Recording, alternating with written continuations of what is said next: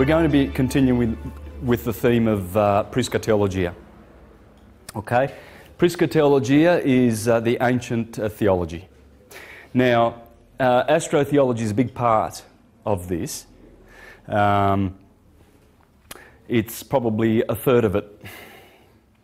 Uh, and astrology, which I was dealing with last week, is a big chunk of it too. So, um, continuing with this theme of uh, ancient theology, we're going to honour a truth speaker of the 16th century because he died the, on the 17th of February 1600, Giordano Bruno. Now, Giordano Bruno was a person who spoke about the Prisca Theologia all the time and he was bringing it to the world. In fact, he brought it to Queen Elizabeth. And Queen Elizabeth was contemplating bringing, uh, making the, the British Isles hermetic. But of course, the, uh, the clergy um, got wind of the, the plot, sent Giordano Bruno a packing back to Italy, and uh, of course, made sure that fictional uh, Roman Christian religion would continue in their country. What I mean by that is that, um, and as I've proven with my uh, presentations, that Rome has invented the fiction of the historical uh, Jesus Christ for purposes of enslavement.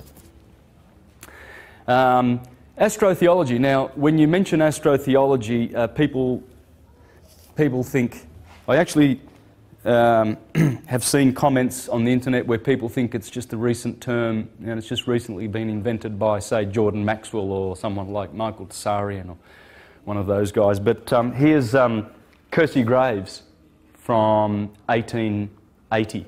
1880. And um, he uses the word astrotheology. This guy also, the Reverend Robert Taylor, uses the expression and he's from 1830s. Okay? Now, first thing that happens is when you talk about astrotheology is that the churchgoers uh, poo-poo the idea, and they deny that Christianity has anything to do with the stars. Uh, the original religio, slash science of this planet you see, uh, the Prisca Theologia um, explains that the stars were originally uh, the, uh, the components of nature that were uh, studied and observed with intent to discover our origins and uh, many truths about reality. And what they did was they uh, encoded books uh, writings in which they would um, reveal their discoveries to mankind.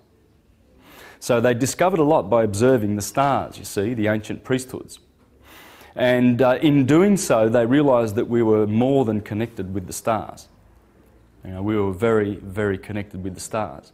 So what developed was a, um, a science whereby if we take note, notice of nature and the most um,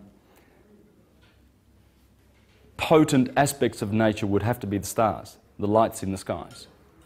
They called them the uh, spirit father fountains of life. And they realized that these um, entities had uh, an influence on us. They observed these influences and uh, recorded them.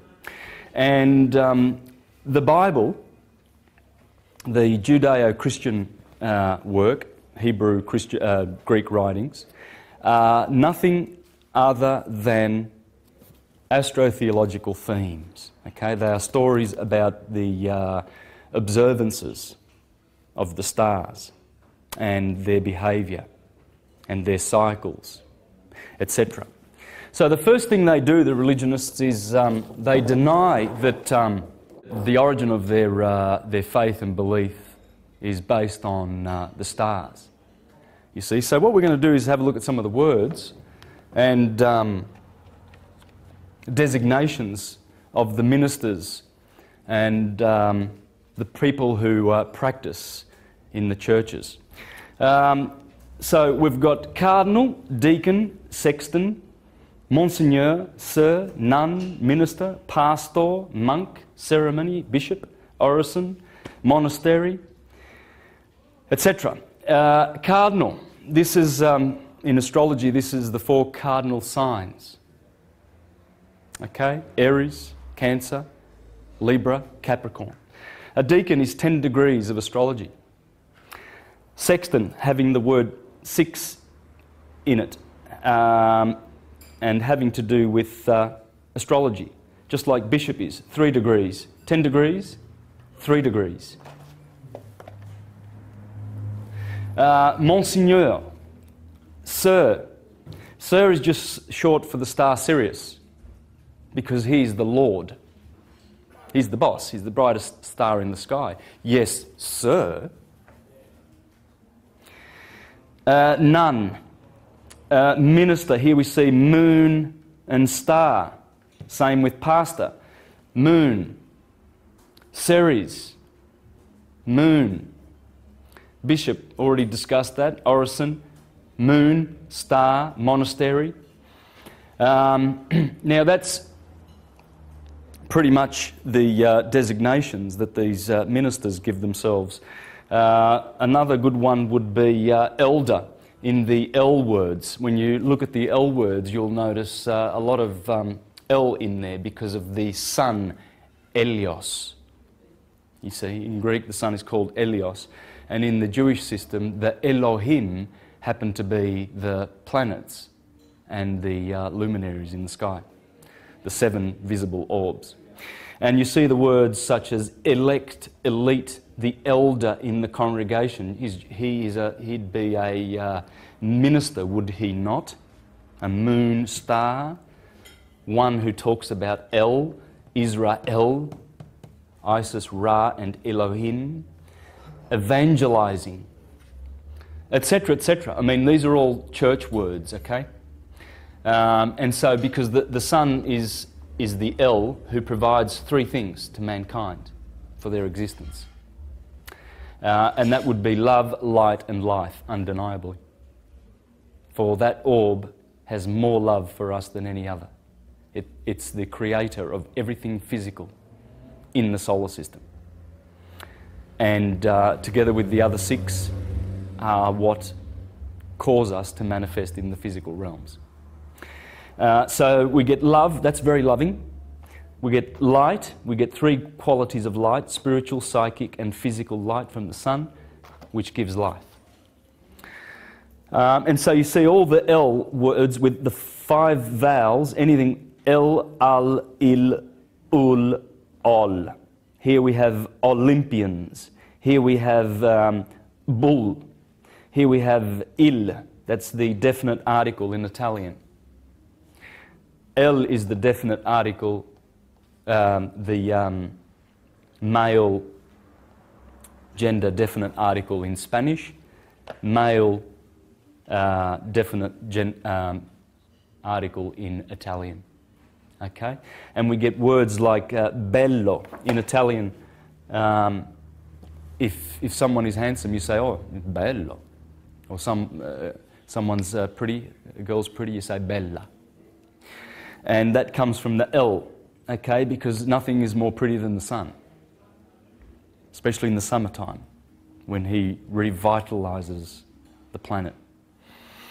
And so, of course, and the Bible is uh, related to Babel. Babel and Bible are the same word. Babel means circle of the sun, the zodiac. Okay? Um, and of course, and it's related to bubble, circle. Bubble, Babel, Bible. Um, Bel is Baal, the god Baal. And he also, if you put a, a, an O on the end of that, you get the Italian word for good looking. Bello. Because Baal is the sun, he's glorious. He's Prince Charming. Okay, so these Il, El, Al, Ol, they are all the sun the El Lord. So when you hear expressions like the Lord Jesus Christ, Amen, these are all different words for the sun. Okay? Lord, yes, yes means the Son. There we have the, the, the golden orb himself, beautiful, Prince Charming, bello. And there are the words, the letters I E S. In Greek, I E S is yes. And that's. Uh, Jesus. Christ, well, Christ is light, King, the King of light, and that's the sun. And Amen or Amun or Om, um, that is the sun. So we've come to a time in, in history that we've. Um, We've begun to understand these things because we've been able to uh, decipher the, uh, the Egyptian uh, holy writings, the, the um, hieroglyphs. And in recent times, we've um, been able to uh, expose this story that is in the Bible. Now, we have many uh, great scholars to lean upon. Uh, probably, I would say this would be the best work absolutely the best work in terms of astrotheology by the Reverend Robert Taylor. One of his con- contemporaries was uh, Thomas Taylor, and Thomas Taylor was, um, was uh, a great scholar who um, was interpreting the Greek myths. I'm going to read a little bit out of this later on, and also out of this. Contemporaries, this one's um, deciphering the holy Jewish Christian scriptures and this one, the myths. So we, have got a lot of scholars of that nature. We have um, The Sacred Mushroom and the Cross by uh, John Marco Allegro, one of the Dead Sea scholars, who uh, discovered that uh, the Dead Sea Scrolls were nothing but um, writings about the Essenes who had Gospels and were already talking about a suffering servant or a Messiah hundreds of years before the so called historical Christ. Um, he's come out and uh, explained that, um, that uh, the Bible is based on mythologies, and um, the Amanita muscaria mushroom being the, uh, the base for Christianity. Um, they used to take the Amanita muscaria mushroom as the uh, Eucharist, you see, the, the bread of Christ, and they would have out of body experiences. And um, so one of the Dead Sea Scholars has shared that with the world. Of course, they went after him and, um, and uh, defamed him and, and destroyed his career, uh, but nonetheless, he was a truth speaker. Here's another true speaker, Dupuy, a um, contemporary of um, Napoleon Bonaparte as well as Volney. These guys exposed the astrotheology in the Bible. I'm going to share excerpts and, and, and, and um, share um, interesting um, information from these scholars today. So it's going to be very eclectic, but there's a lot of uh, interesting information that we're going to expose. Here is the, uh, the Earth, and that would be the equator, Tropic of Cancer, Tropic of Capricorn. Now I'm following a, um, a very ancient map. And by the way, a lot of people ask me about where do I get my uh, maps and stuff from. Well, that's the book. You can get that on uh, Amazon, Star Maps. And uh, in fact, it has uh, lots of great ancient math, maps and uh, a great collection, probably one of the best I've ever seen. It's phenomenal. And so this comes from that book.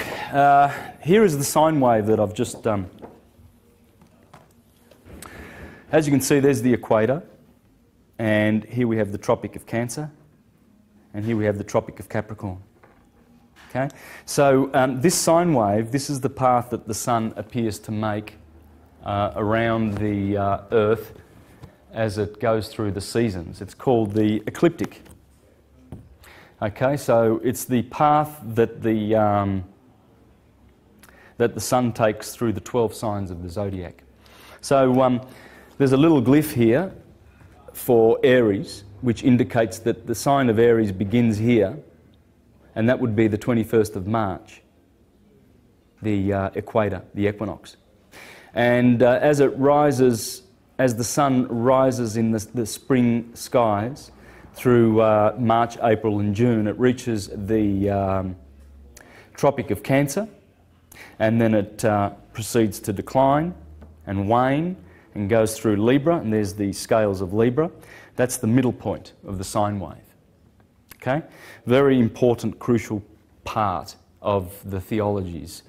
And a lot of the stuff in the Bible pertains to this area here because the scales of Libra that sit on that equinox there have to do with justice and the fall of the sun. As the sun falls down to the winter months below the equator, the scales have judged the sun. So that point there is very interesting. And these are the cardinal points Aries, the equinox, Cancer, the uh, solstice, uh, Libra, the equinox, and Capricorn, the solstice.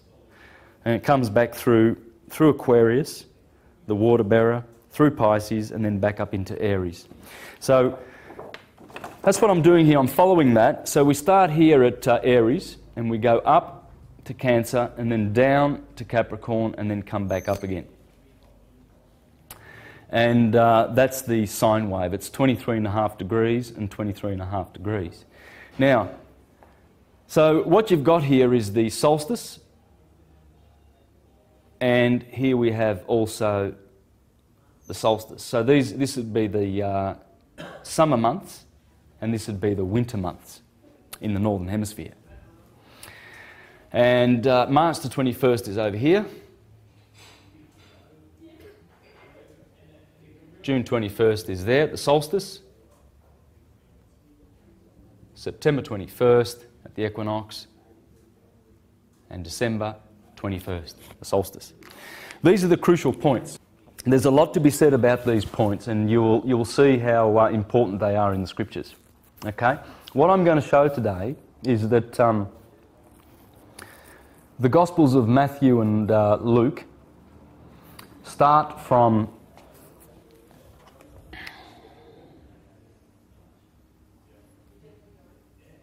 start from December the 21st and finish with December the 21st, whereas Mark and John started Aries.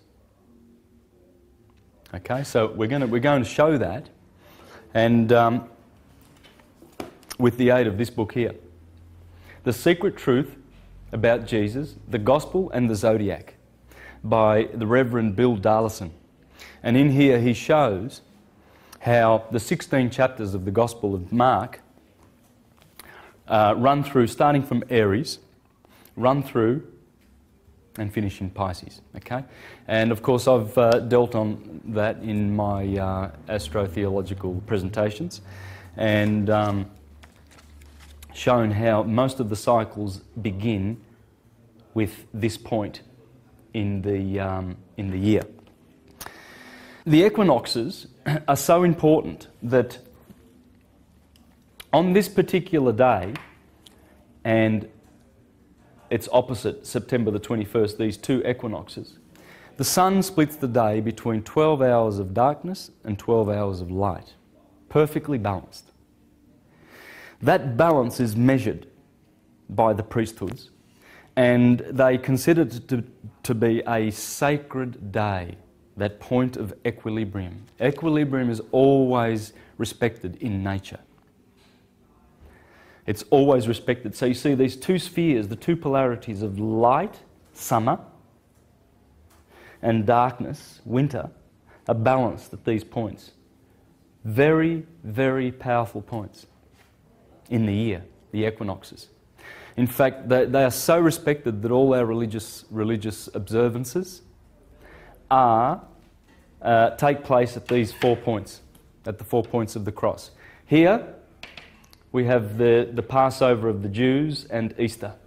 Here we have uh, Judgment Day, Rosh Hashanah, um, the Festival of Tabernacles or the Festival of Booths, and here we have the Holy Saturnalia and the Christmas period where the, the, um, the ancients would mourn for Saturn. That was the Saturnalia, and, uh, or Saturn's brother, the sun. They would mourn for the sun because he was going down to his death on the 21st of December. And so um, Macrobius, in his famous work, The Saturnalia, talks about this festival and its origins. And uh, in doing so, he revealed a lot about um, the old astrotheological system. In fact, he revealed that every one of the names of the heroes, including Jesus, mean the sun. And here are some of the, um, here are some of the names of those uh, ancient gods Janus, Bacchus, Ieius, Apollo, Julio, Delios, Loxias, Phoebus, Phanes, Lucius, Sabazius, Liber, Ebulis, Dionysus, Yao, Hades, Mars, Meton, Mercury, Draco, Asclepius, Hercules, Serapis, Adonis, Attis, Osiris, Horus, Pan, Jupiter, Saturn, Adad. Interesting. So we'll get back to that.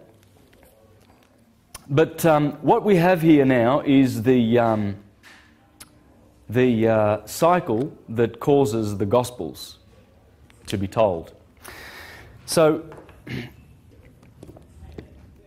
what we have is, according to um, Reverend Bill Darlison, as we begin in Aries, I'm going to share some scriptures with you, which um, prove the, uh, the astrological uh, aspects of the Gospels.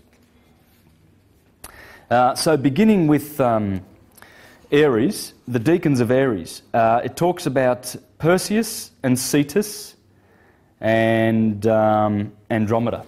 So, if we go to Aries at the head, remember Aries is always the start of this system because it's in the head. Uh, we see there's Perseus, Cassiopeia, um, and Andromeda is always associated with Pisces, but the stars overlap um, with this zodiac sign here. Uh, here we have Taurus, Orion, Eridanus, and Auriga. Okay, so, and these are the deacons. You have the northern deacons here. Um, so, for instance, Scorpio has three northern deacons, it doesn't have any southern deacons.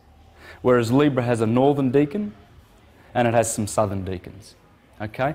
And these are, there's 15 in the southern and 21 in the northern. And they make up, they make up 36 extra zodiacal signs. Okay? Now, one of the first things that uh, is spoken about in Aries um, is the apostle, uh, or rather, John the Baptist calls um, Jesus um, the, um, talks about the baptism of fire. Well, that would be the fire of Aries. Okay, so that's the first hint. As the, as the sun comes into Aries, there's the fire aspect. And um, we'll just have a look at that um, part in the Gospel of uh, Mark. It says, I have baptized you with water, but he will baptize you with Holy Spirit. And of course, Matthew and Luke use the word fire in that, right? But the Spirit has to do with the baptizing uh, in Aries, because what happens in Aries is there is the river Eridanus goes through there from the sign of Taurus next door.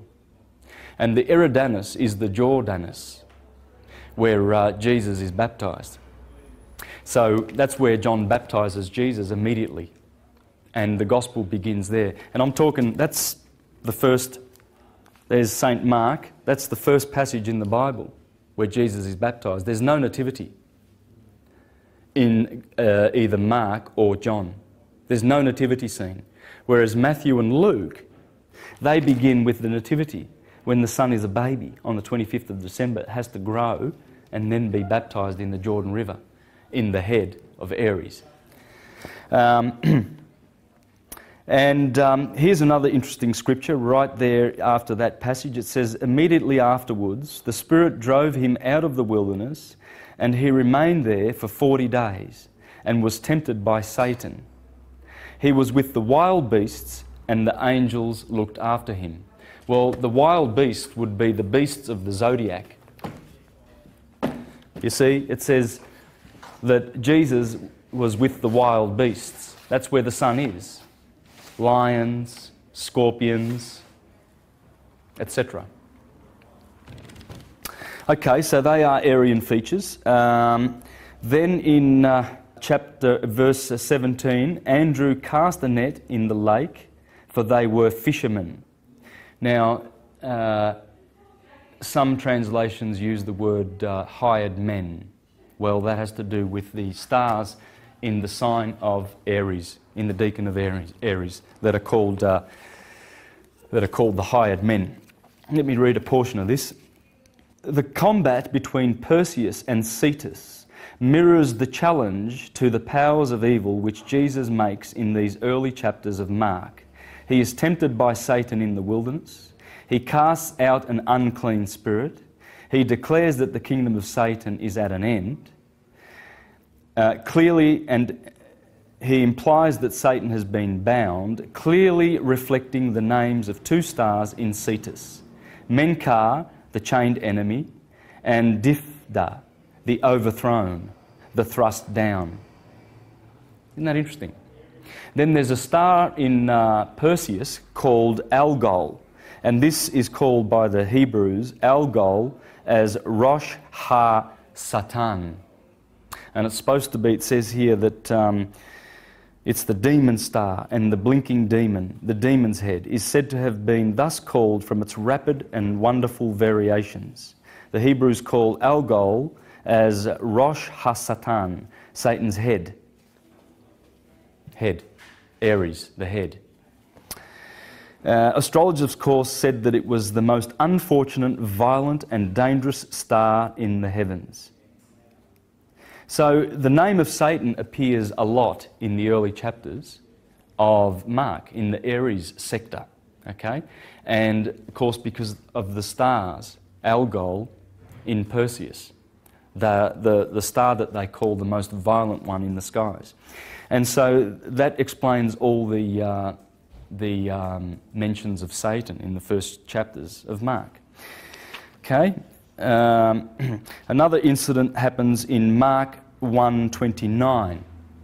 And this is the incident. As soon as they left the synagogue, they went with James and John to the house of Simon and Andrew. Simon's mother in law was in bed with fever, and they immediately told Jesus about her. So he went to her, took her hand, and helped her up. The fever left her, and she began to wait on them. So Simon Peter's mother in law has a fever. Well, Simon's other name is Cephas. And you'll notice that Cephas, uh, Cephas in, in um, Pisces, is also merging in with Aries. You see, that, that's how it works. So Cephas is in here, and Cephas is another name for the Apostle Peter. Right? Uh, and Andrew would be Andromeda. Right? Andrew. so these are in the first chapters of Mark, right? Dealing with uh, the March Aries sector. So the mythological Cassiopeia was the wife of Cephas and the mother of Andromeda, whom Perseus had married after releasing her from the rock to which he had been chained by the sea god Poseidon. Cassiopeia was eventually translated to the sky by her enemies the sea nymphs, but because of her vanity and arrogance, was placed so close to the pole that she appears to be lying prone. Well, the mother, the mother of the one chained to the rock, see, Cassiopeia was chained to the rock. Well, the rock is Cephas, Peter. Peter's called the rock. is Cassiopeia. So the one chained or married to the rock, Peter, is Cassiopeia. the reclining woman. Cassiopeia's husband is Cephas, another name for Peter, the rock. Uh, and her daughter is Andromeda, uh, which names which are hinted at in the names Andrew and Cephas.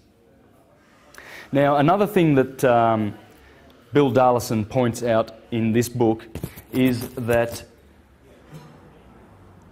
uh, unlike the Gospel um, Mark, the Gospel John, which also begins in Aries, in the first chapter of John, uh, the Gospel of John, John the Baptist says, Look, the Lamb of God that takes away the sin of the world, pointing to the very same nature uh, of that Gospel to Mark's Gospel. Unfortunately, Mark doesn't use that expression, but all the, other, all the others do. and if it had of, that would really just put the icing on the cake, wouldn't it? All right, so that's um, Aries. Let's have a look at Taurus and see if we can see some uh, themes there in the uh, early chapters. By the way, I'll just put that up for the camera to pick up. Um, this comes straight out of the book and uh, it shows the, um, the different sectors uh, of the Gospels. So Aries is from the first chapter to the third chapter, okay? And it's dealing with the baptism of Jesus, the beginning of ministry, theme of newness, 12 apostles as new Israel, sense of urgency, daring, and defiance. In the zodiac, the key words would be uh, sign of the spring equinox, initiation, action, impulsiveness, assertiveness, pioneering associated with the head. And you will find all of these perfectly on cue in those chapters of Mark and dealing with the sign of Aries. Okay? Uh, Taurus, parables of growth, agricultural Im- imagery, parable of light. Now, because of the special stars in Taurus, Taurus has um, a cluster of stars called the Pleiades, which are the lights. Okay? So we notice now in the, um, in the fourth chapter of Mark, which I'm going to be reading from, the, the theme is dealing with um, uh, light and also the parables of the seeds. Because in Taurus, Taurus is the time of the year when you take your bull out and plough. So you notice that in the fourth chapter of Mark, there's a lot of ploughing being done, a lot of seed sowing, and a lot of talk about lights because Taurus has those beautiful Pleiades and the Hyades and Orion and all those bright stars. so, um, the parable of the light under the bushel, which follows the sower, does not have the Taurian imagery of growth and productivity except in rather an oblique sense. But it is related to Taurus nevertheless, because in addition to its association with the earth and with agriculture, Taurus has always considered by the ancients to be connected with light. Um, for instance, Venus rules Taurus, and Venus is phosphorus. She is the bright morning star. And she's one of the brightest orbs. In fact, she's the third brightest orb in the sky. That's one pointer to the fact that it's dealing with Taurus. Uh, another one is um, the principal star of the Hyades group, situated in the eye of the bull, was called by Ptolemy Lampadias. That would be lamp, Lampadias. The torch, so you see, Jesus will be talking about light. Don't hide your light, show your light. Venus, the ruler of Taurus and the most brilliant sight in the evening and morning uh, sky after the moon, was called by the Greeks Phos. Phos meaning light. And by the Romans, Lucifer, the light bearer. So no wonder chapter 4 deals with light. To the ancient occultists, Venus was the planet of inner light, illumination.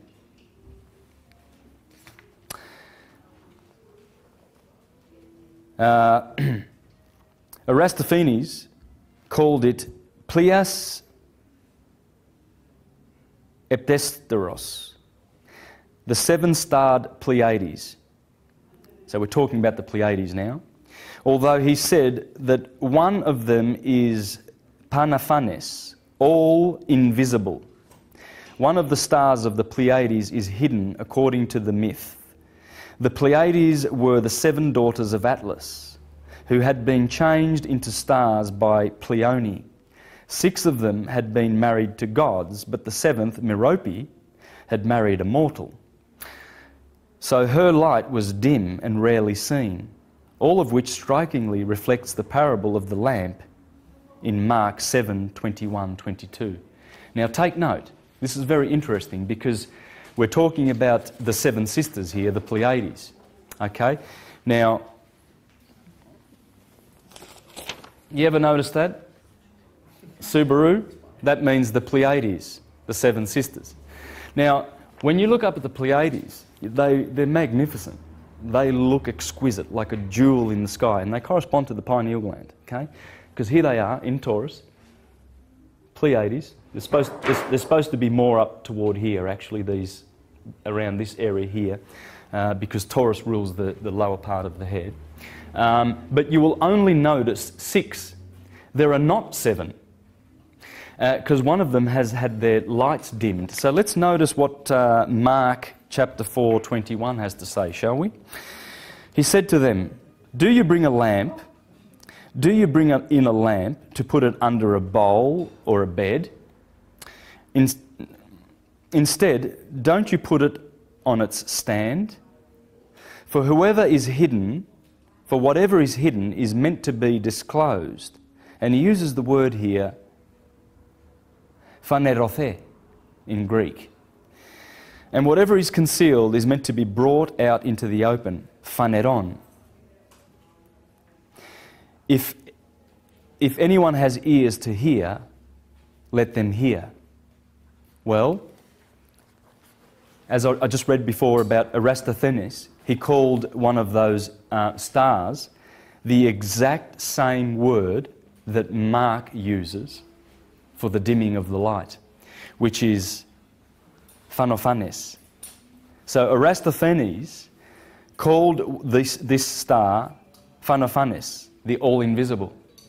Interesting that Mark should use the exact same word for the, the dim star in the Pleiades. Uh, still on the, the, the Taurus uh, sign, we need to um,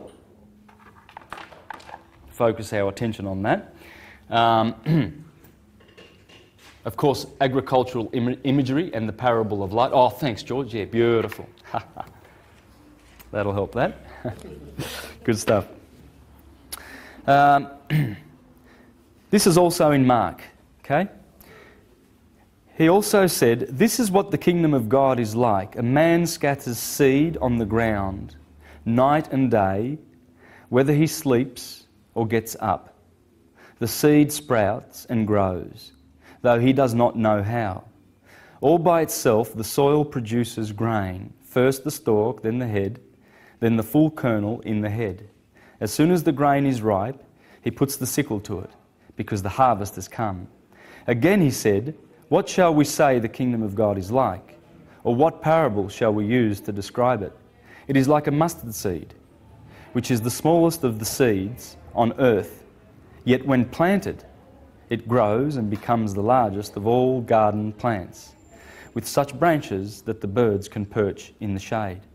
So notice the theme there of agricultural imagery, uh, parables of growth, and this is, these are the themes of the, um, of the fourth chapter of Mark. Right on cue with Aries the first, Taurus the second. And it gets better. Mark 4 10 to 12. When he was done, the twelve and the others around him asked him about the parables. He told them, The secret of the kingdom of God has been given to you, but to those on the outside, everything is said in parables, so that they may be ever seeing but never perceiving, and ever hearing but never understanding. otherwise, they might, might turn and be forgiven. How about Gemini? All right, so we come to Gemini. We've done Aries, Taurus, and now Gemini, the twins. What themes of Gemini do we have in the Bible in the uh, fourth to sixth chapter of Mark? Themes of duality, man with a legion, the Tunis Geminis, Geminians, um, the flow of blood and the cure of Jairus' daughter, the apostles sent out in twos, uh, Herod's uh, vacillation. So, and here they are short journeys, has to do with the third house of, of astrology. Uh, siblings and relationships, of course. Well, that's the Geminis, and we're going to see this in the gospel. Indecision and communication. Now, I'm, I'm really just picking the, the choice bits here because I've, I've got the whole thing to go through. Uh, so it's probably going to take about a half an hour, but and I want to discuss many, many other themes. I don't want to just uh, discuss the Gospel of Mark, showing that Mark starts in Aries with the baptism and Pisces with the, the death. Okay, the sign of the cross. So uh, Gemini, there are a few details in the story which underline its Geminian theme.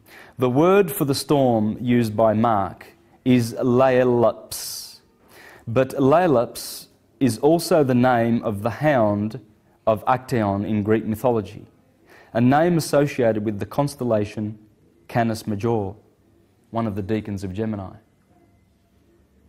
Right?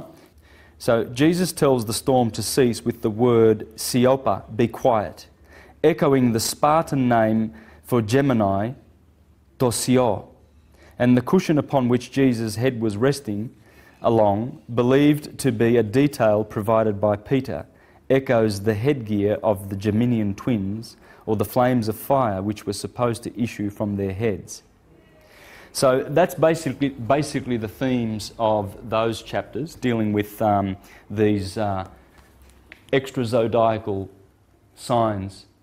There's um, Gemini there, Canis Major, um, Canis Minor, and Lepus the hare, which, which is what the, the fourth chapter of uh, Mark deals with. Okay?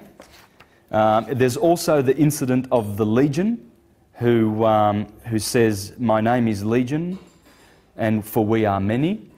That has to do with the, uh, the duality aspect of Geminians. Okay? let's see if there are some other points in Gemini, some good points that I want to. Okay, well, let's go to uh, this miracle of the uh, Jairus and the woman with the blood flow. So, after he put them out, he took the child's father and mother and the disciples who were with him and went in where the child was. He took her by the hand and said to her, Talitha cumi, which means, Little girl, I say to you, get up. Immediately the girl stood up and began to walk, and she was 12 years old. At this, they were completely astonished. He gave strict orders not to tell anyone about this and told them to give us something to eat. Well, uh, this incident happened immediately after Jesus was touched by a woman who had a, a flow of blood which was for 12 years. So Jairus' daughter was 12 years old. And the other incident immediately before that had to do with 12 years, indicating uh, a twin parable. Okay? The most obviously Geminian feature of uh, the story of Jairus' daughter is the way in which it is told. It is the only miracle story in the Gospels which combines two quite separate elements. Uh, elements. Nineham writes, what we have here is without precise parallel in the gospel, an incident broken into by another incident which takes place in the middle of it. All right? In addition, however, we should consider the name Jarius, Yarios, which means appropriately Jehovah enlightens, but which also bears more than a passing resemblance to the name of the brightest star in the night sky, Sirius, Sirius. The dog star, which is found in Canis Major, right? That's where Sirius is, in the dog star. Um, one of the Geminian deacons, and whose name means the chief one, the leader, Jairus, we are told, uh, the leader or ruler of the synagogue. And as Ptolemy reminds us, the heliacal rising of Sirius at the summer solstice presaged the beginning of the Egyptian New Year and the flooding of the Nile. Thus, concerning, uh, thus connecting this star with the constant menstruating, constantly menstruating woman. In addition to being a possible zodiacal reference, Mark's double use of the number 12 provides us with further evidence that we are meant to link the two females, and that this double story is not just a narrative accident. The woman with the flow, the blood flow, has been sick for 12 years. The little girl is 12 years old. The constant the contrast between the girl and the older woman reflects two of the deacons of Gemini, Canis Major and Canis Minor. Okay, and there's also the mention of Sodom and Gomorrah, the twin cities in Mark 6:11. Okay? Now, I have to apologise because this is sort of a little bit sort of dull and boring because it's real nitty gritty names of stars and everything like this. And this guy's done a lot of homework and it's a beautiful, exquisite book the way he's put it together. And he's mixed astrology with astronomy, with astrotheology, and beautiful metaphysical themes. It's just such a rich book. I wish I could just spend the whole, you know, four hours on this, but I'm just have to fly through it. Um, in fact, I'm, I'm just going to really fly through because we've only done three, three of those uh, signs, okay? Um, but there's some real, oh, look, there's some real obvious ones. Cancer is um, themes of uh, nurture, the motherliness of the cancer sign with the moon in it, um, food and stomach concerns, uh, etc. Well, that's all in there. Um, the boat is in Cancer, the boat Argo. So Argo is the ship that is up here, you see, and that is, according to the Venerable Bede, um, that is the Ark of Noah. And interesting that um, two deacons of Gemini are Canis Major and Canis Minor. The two deacons of uh, Cancer are Ursa Major and Ursa Minor. And Noah, in his boat, on top of Mount Ararat brought in animals two of two. The only place where two ofs occur in the whole zodiac is right where right here where Argo is in the constellation of Cancer. So you have Cancer here. Argo the ship, Ursa Minor, Ursa Major in Gemini, you have Canis Major and Canis Minor. And so, and there's, and there's, um, and there's the ship right there, bringing in the twos and the twos. Okay? Now, I, I didn't make that up. You want to read the, uh, the Venerable Bede's. Uh, and he was uh, from the 6th century, I believe, if I'm not mistaken.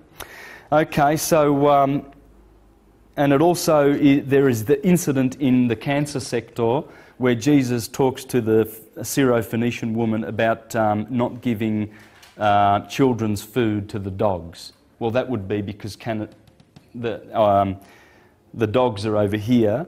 Uh, in fact, Marcus Manilius, he mentions in this book, Marcus Manilius places one of the dogs, Procyon, in the sector of Cancer and not Gemini, as modern astrologers do. So there's the Cancer in the Gospel. Uh, Leo, Interesting. Leo. Let's have a good look at Leo, Virgo, and Libra. Libra. In Leo, as I've discussed before in my astrotheology uh, presentations, there's Cancer, there's Leo, and there's uh, Libra. Um, on the 6th of August, which happens uh, right about here, the middle of the hottest part of the year, on the 6th of August, the Catholic Church calls that day the Transfiguration of Jesus Christ.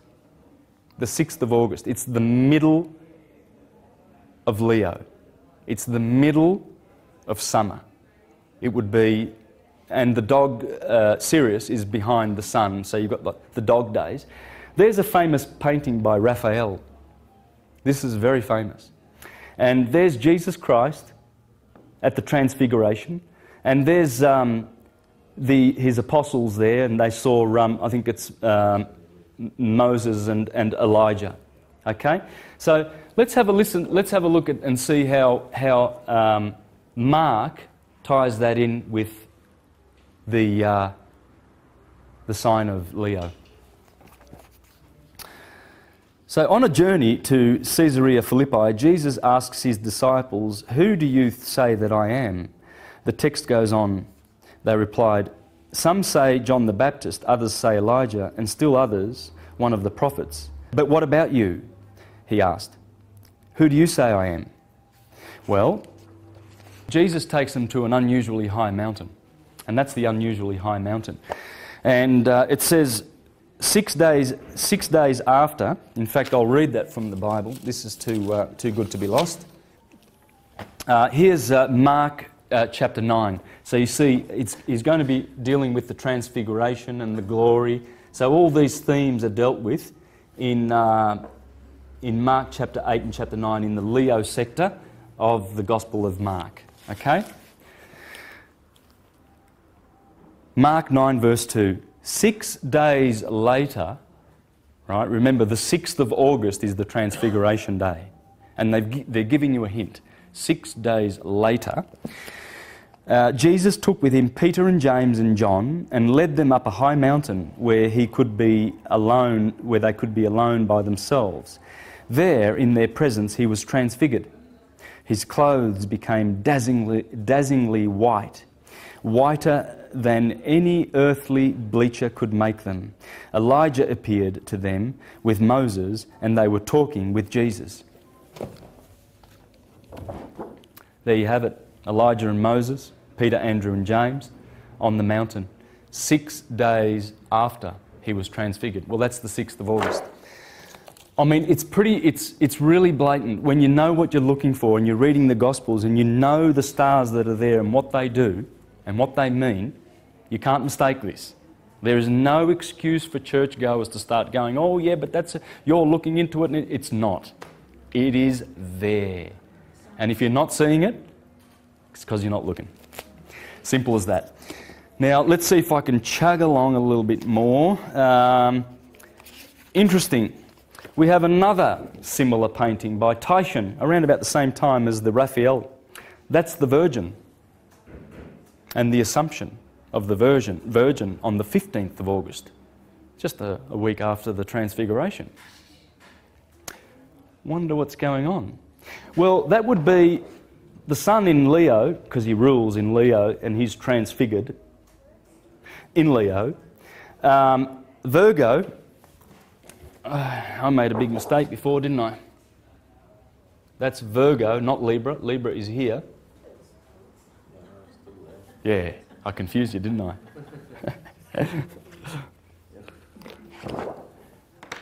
um, Virgo on the 15th of August disappears behind the sun. That's the assumption of the Virgin. Because on the 8th of September, over here, she gets reborn again, doesn't she? That's the nativity, because she reappears. You see, when the sun is in a sign, the sign disappears. You can't see it because, well, for instance, we're in, um, today's the 13th of November. That's Scorpio territory. Now, it's, uh, what's the time? It's 2 o'clock. So the sun is above us. Behind the sun is the scorpion. You, you cannot see it in November. It's gone. And so that's why the Virgin Mary ascends and then she's born again. The Nativity of the Virgin. Yeah, it's all and it's all on cue. It's it's um, all right. Let's see what uh, Virgo has. Virgo has uh, teaching about humility, little children, warning against passivity and service, because uh, the sixth house uh, or or Virgo, Virgoans are very service oriented. It's the sign of service. Okay, so in the gospel, Jesus is talking about service serve one another. etc. If anyone wants to be first, he must be the very last and servant of all. So there's the theme of service. Uh, if anyone causes one of these little ones, who, those who believe in me, to stumble, it would be better for them if a large millstone were hung around their neck and they were thrown into the sea. So that's also Virgoan themes. All right, let's move on. Let's, I know I'm going to regret taking chunks out of this because there are so many good points, but I, you just can't. All I can do is show you some choice bits, and if the subject interests you, I would be getting this book. Um, it's just phenomenal. Okay, Libra.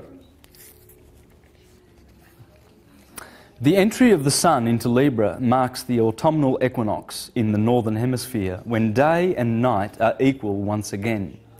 This is the midpoint of the year, the moment of equilibrium, when the forces symbolized by the day and the night are in perfect counterpoise. This has happened before, of course, when the Sun entered Aries in the springtime. But there is a difference between these opposite but complementary point, points. At the spring equinox, the point of poise occurs before the daylight begins to dominate. In the autumn, this is reversed, and the balance point presages the forthcoming massing of the darkness. The eternal interplay of light and darkness is symbolized by in the zodiac itself which on one level is nothing more than the yearly cycle projected on the sky.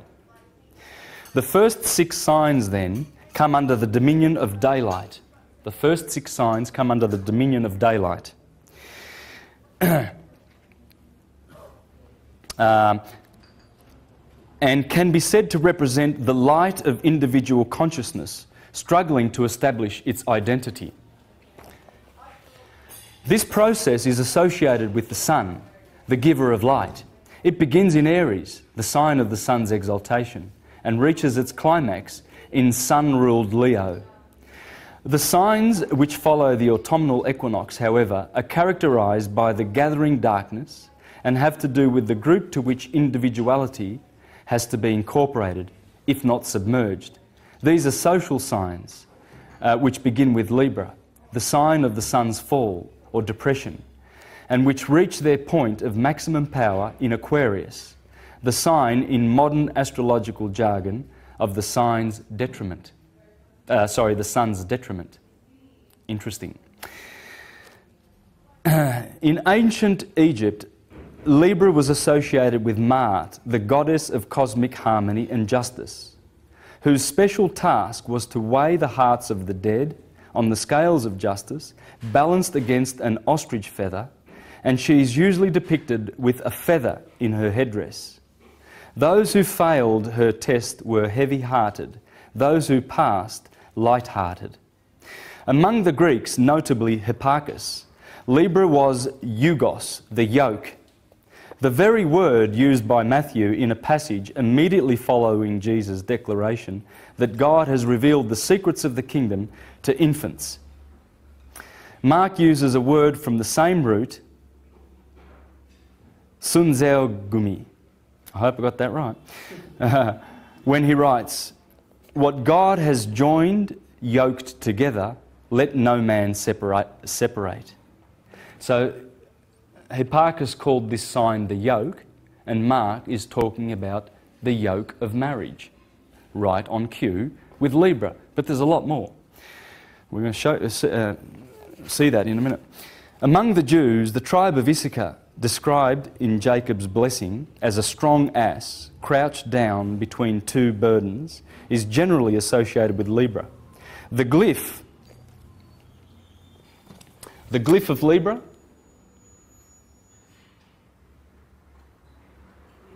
what's that?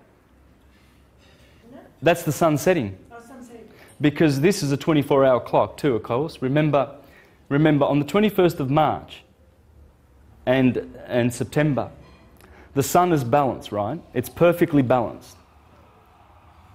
So On that day, and only on that day, or those two days rather, does the sun rise at 6 a.m. and set at 6 p.m. Only on those two days. Okay?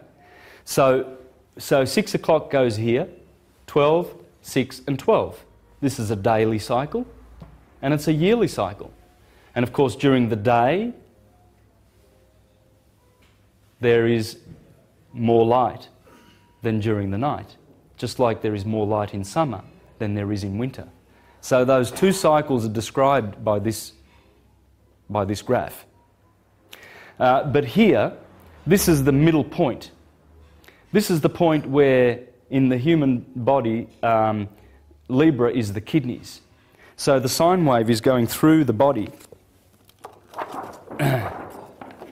in the, um, in the scale of the balance. You see the sun setting there? Okay, when you, when you look at that,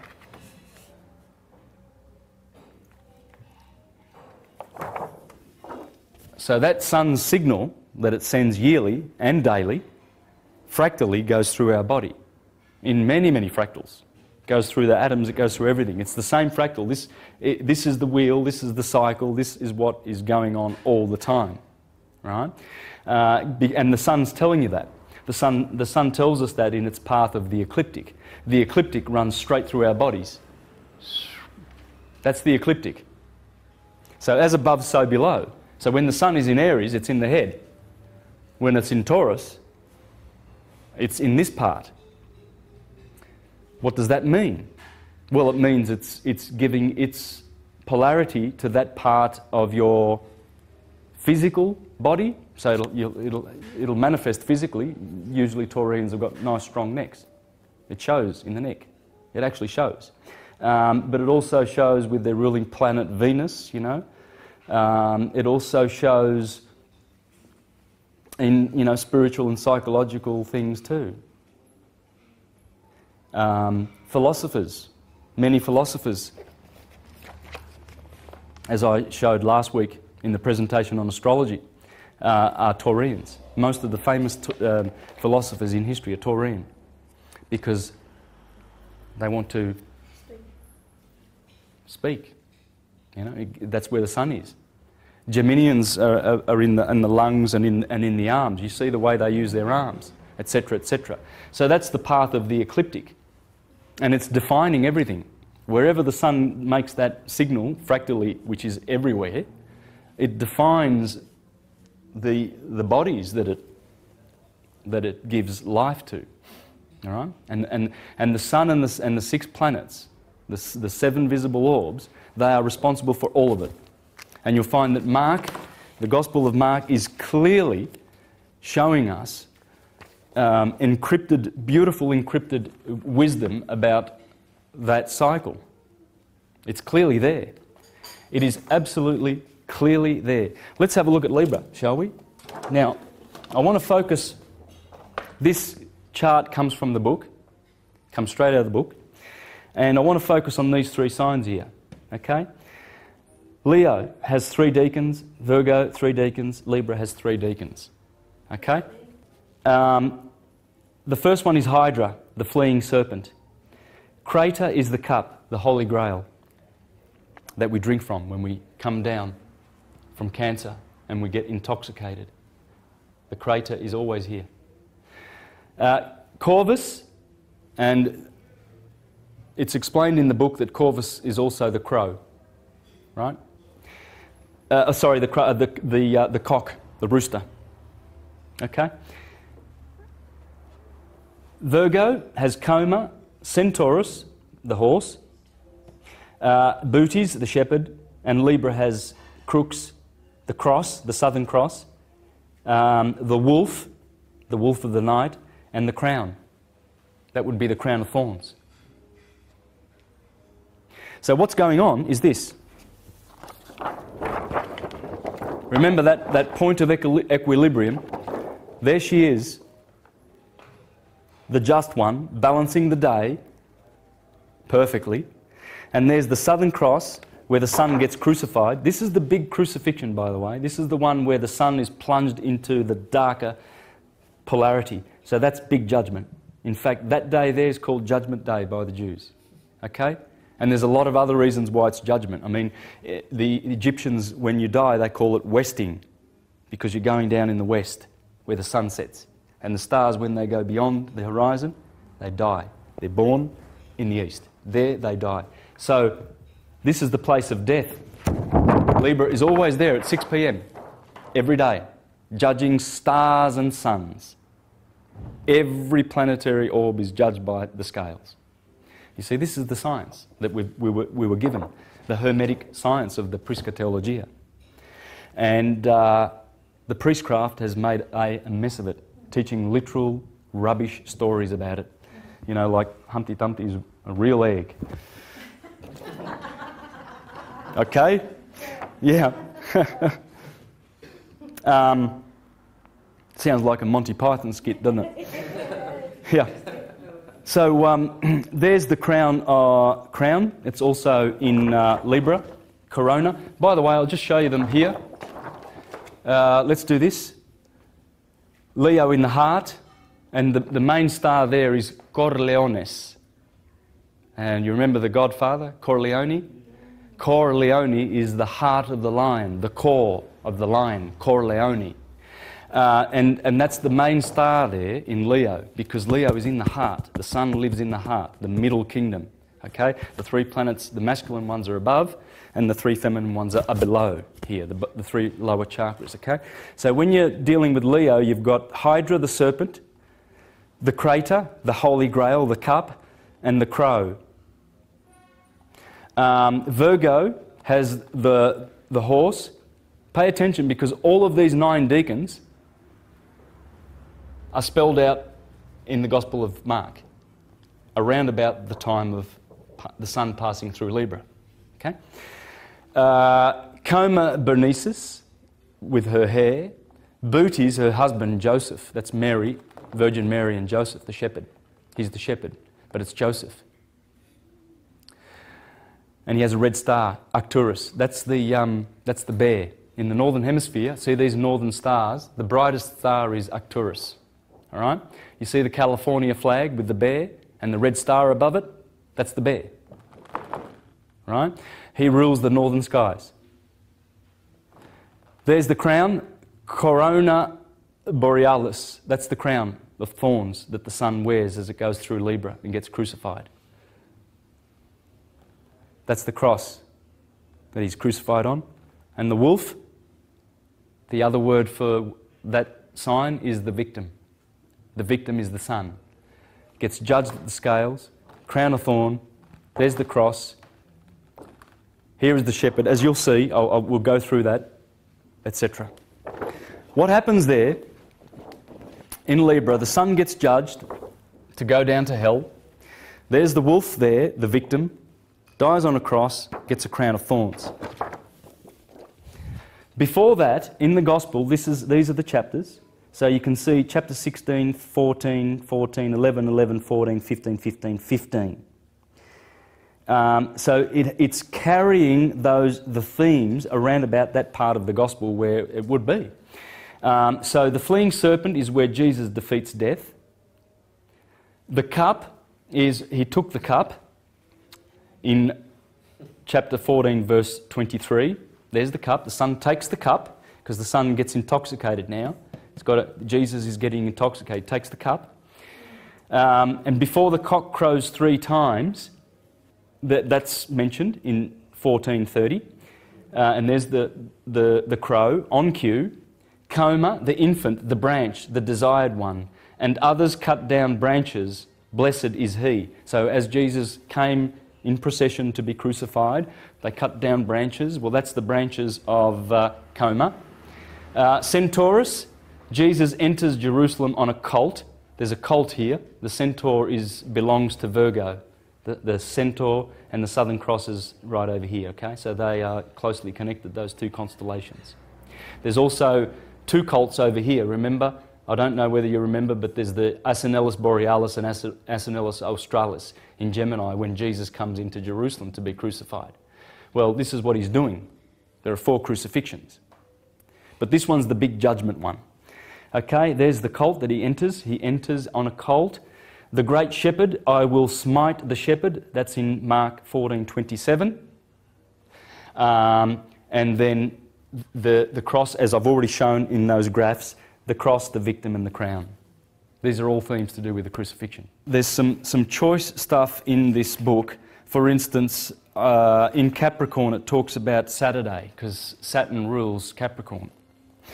And says the Jewish Sabbath is Saturday, Saturn's day.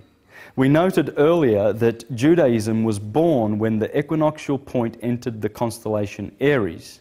And there is no doubt that Aryan imagery of rams, goats, sheep, sacrifices, and circumcision play a major role in the liturgical practices of Judaism. But the other cardinal signs, Cancer, Libra, Capricorn, feature prominently in the development of Judaism. Libra, the polar opposite of Aries, the sign of covenants and law. Cancer, the sign of home and diet and mother. Capricorn, the sign of duty, service, social responsibility, and the father. See, mother, moon, Capricorn, father, Saturn. And, and when you do your houses, you'll find that the fourth house is, deals with mother, right? And the tenth house with honours and duty and service and, and authority and prestige and father, because Saturn is the father. You see the polarities. We have to work out the polarities in all of this to understand the science. Once you start doing that, you can navigate through all of these books. You can read the Upanishads, you can read the Eddas, whatever, and you'll know what you're talking about, man. The characters are always the same. In the Bible, the characters are always the seven heroes, the seven that go manifesting, the Elohim. And they manifest in the space of 12. While Libra is the sign which symbolizes the law's origin. And why? Well, because Libra is always to do with judgment and law. This is law. You know, when you get your heart weighed on that scale in Libra. While Libra is in the sign which symbolizes the law's origin and purpose, Capricorn symbolizes its operation and enforcement, legalism. Concern for the letter of the law is therefore Capricornian. Similarly, while Christianity is a Piscean religion, it also relates clearly to the other mutable signs. Now, get this right? Christianity is saying is, is a uh, Piscean religion, but it also relates to the other signs Sagittarius, uh, Gemini, and um, Virgo. How? Well, uh, Virgo, Gemini, and Sagittarius. its, its emphasis on virginity and celibacy are Virgoan. Its elaborate and divisive theology is Geminian as are the letters which constitute a good portion of the Christian scriptures. And its missionary zeal and sacerdotalism are Sagittarian. Simple as that. All right, look, there's a lot of choice stuff in here, and uh, I'm afraid I'm just going to have to uh, leave it because we're going on to some more stuff. Let's have a look at some science now, a little bit. Let's have a look at some S words, shall we? There's the S. We've got uh, serpent, spiral, and sine wave. Right? Now, the serpent is also a septenary. Those words are interchangeable in the mythologies. In fact, they have the same root word. And spiral also has to do with spirit. And sine wave has to do with sin. Okay? These are the six S words that we need to nut out and understand in order to, to get all this. Because you've got to bring in the metaphysics and you've got to bring in the, um, the, uh, the intention of the priesthood into this science. They didn't do this to, um, you know, entertain themselves on the, on the weekend. They did this so that many, many layers of wisdom would be found in, the, in their holy works. And that way they would sort out, you know, the people from the, the, the, the, the courtyard of the Gentiles, right? Gentiles basically meaning people who are not really spiritual, serious. Not serious. you know, pagans, or that's, in fact, that's what they used to call pagans, and that's very derogatory because it, it, it shouldn't mean anything bad. Um, but the Romans used to say, "Oh, the hillbilly pagans." Pagano meant someone who lived out in the out in the sticks, you know, country hick. So that's why it's derogatory, but it isn't. Their worship was based on this. Um, but um, those levels were put in there so that he who has ears and eyes to see would look deeper and dig deeper. That's why it's called esoteric or occult, the Prisca Theologia. Because, you know, you ain't going to just give it to someone who um, abuses that information. It's like you're giving, uh, you know, a thousand dollar um, iPhone to your nine year old son who's known for breaking everything you've given him, right? Well, you wouldn't do it, would you? You'd probably get a cheap phone and give it to them or something like that. So, um, so wisdom is supposed to be respected. And this is how you respect it. When you hide it and you give it to people who deserve it enough. And they did a wonderful job in doing this. This sine wave represents time. And the seven, the seven fellows that go through there, the seven planets, they Seven represents time and this represents space. You see, this is the space that they're allowed to go in. These are the titans. And, um, and, and as they go, they always make these sine waves, right? Um, and so this represents the flow of time. And that's what sin is. Sin is these, everything is spirals, okay? So, so this, this, this spiral is not exactly uh, two-dimensional. It's three-dimensional, which makes it a helix, okay? Helical. Um, but as it does that, the spiral, it, it actually manifests physical bodies. And that's the spirit that it's talking about, the spirit behind the spiral. And it always is serpentary or a septenary. Okay, seven is the number of nature. Let me just read some choice information from uh, Who is This King of Glory? This is a beautiful book by Alvin Boyd Kuhn. If you ever want to get into the deep, deep stuff of this and what the Bible was really written for, this guy explains many beautiful things, okay? So we have the four elements. And he talks about these numbers that appear in the Bible 4, 3, 12, 7, always those numbers 40, why? Well, it's because of, because of time units which describe the spiral, the serpent, the sine wave, the sin that we're in. You see, when you get caught in time, um, when, you have, when, you, when you're full of sine waves, you're, you're sinning. yeah. Yeah, because we're caught in time. That is sin, in the sine wave. It's all science. Yeah, yeah. Uh, 3, 4, 7, 12, and 40 are indeed among the most sharply revelatory keys to the entire system of scriptural interpretation. It is ridiculous that Christian exegesis of its own book has for 16 centuries laboured at the interpretation with practically no regard for the meaning of these numbers. It will be later it will later be seen as a clear evidence of esoteric incompetence. It has remained for students outside the pale of Christian apologetics to interpret the Bible most capably and profoundly. Uh, what were the 12 disciples, if not men? In the esoteric understanding, they were the same in 12 aspects of the, throne, of the three kings of wise men were in the threefold division. Or uh, they were the same three powers of spirit, further subdivided into 12 aspects.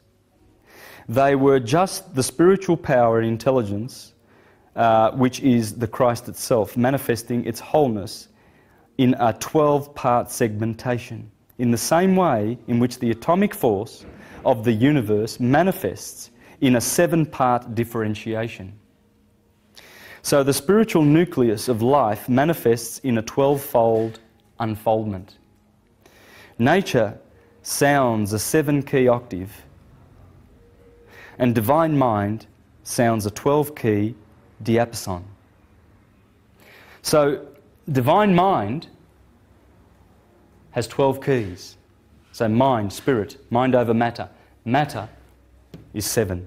That's why we have seven luminaries, seven Elohim or cosmocrators.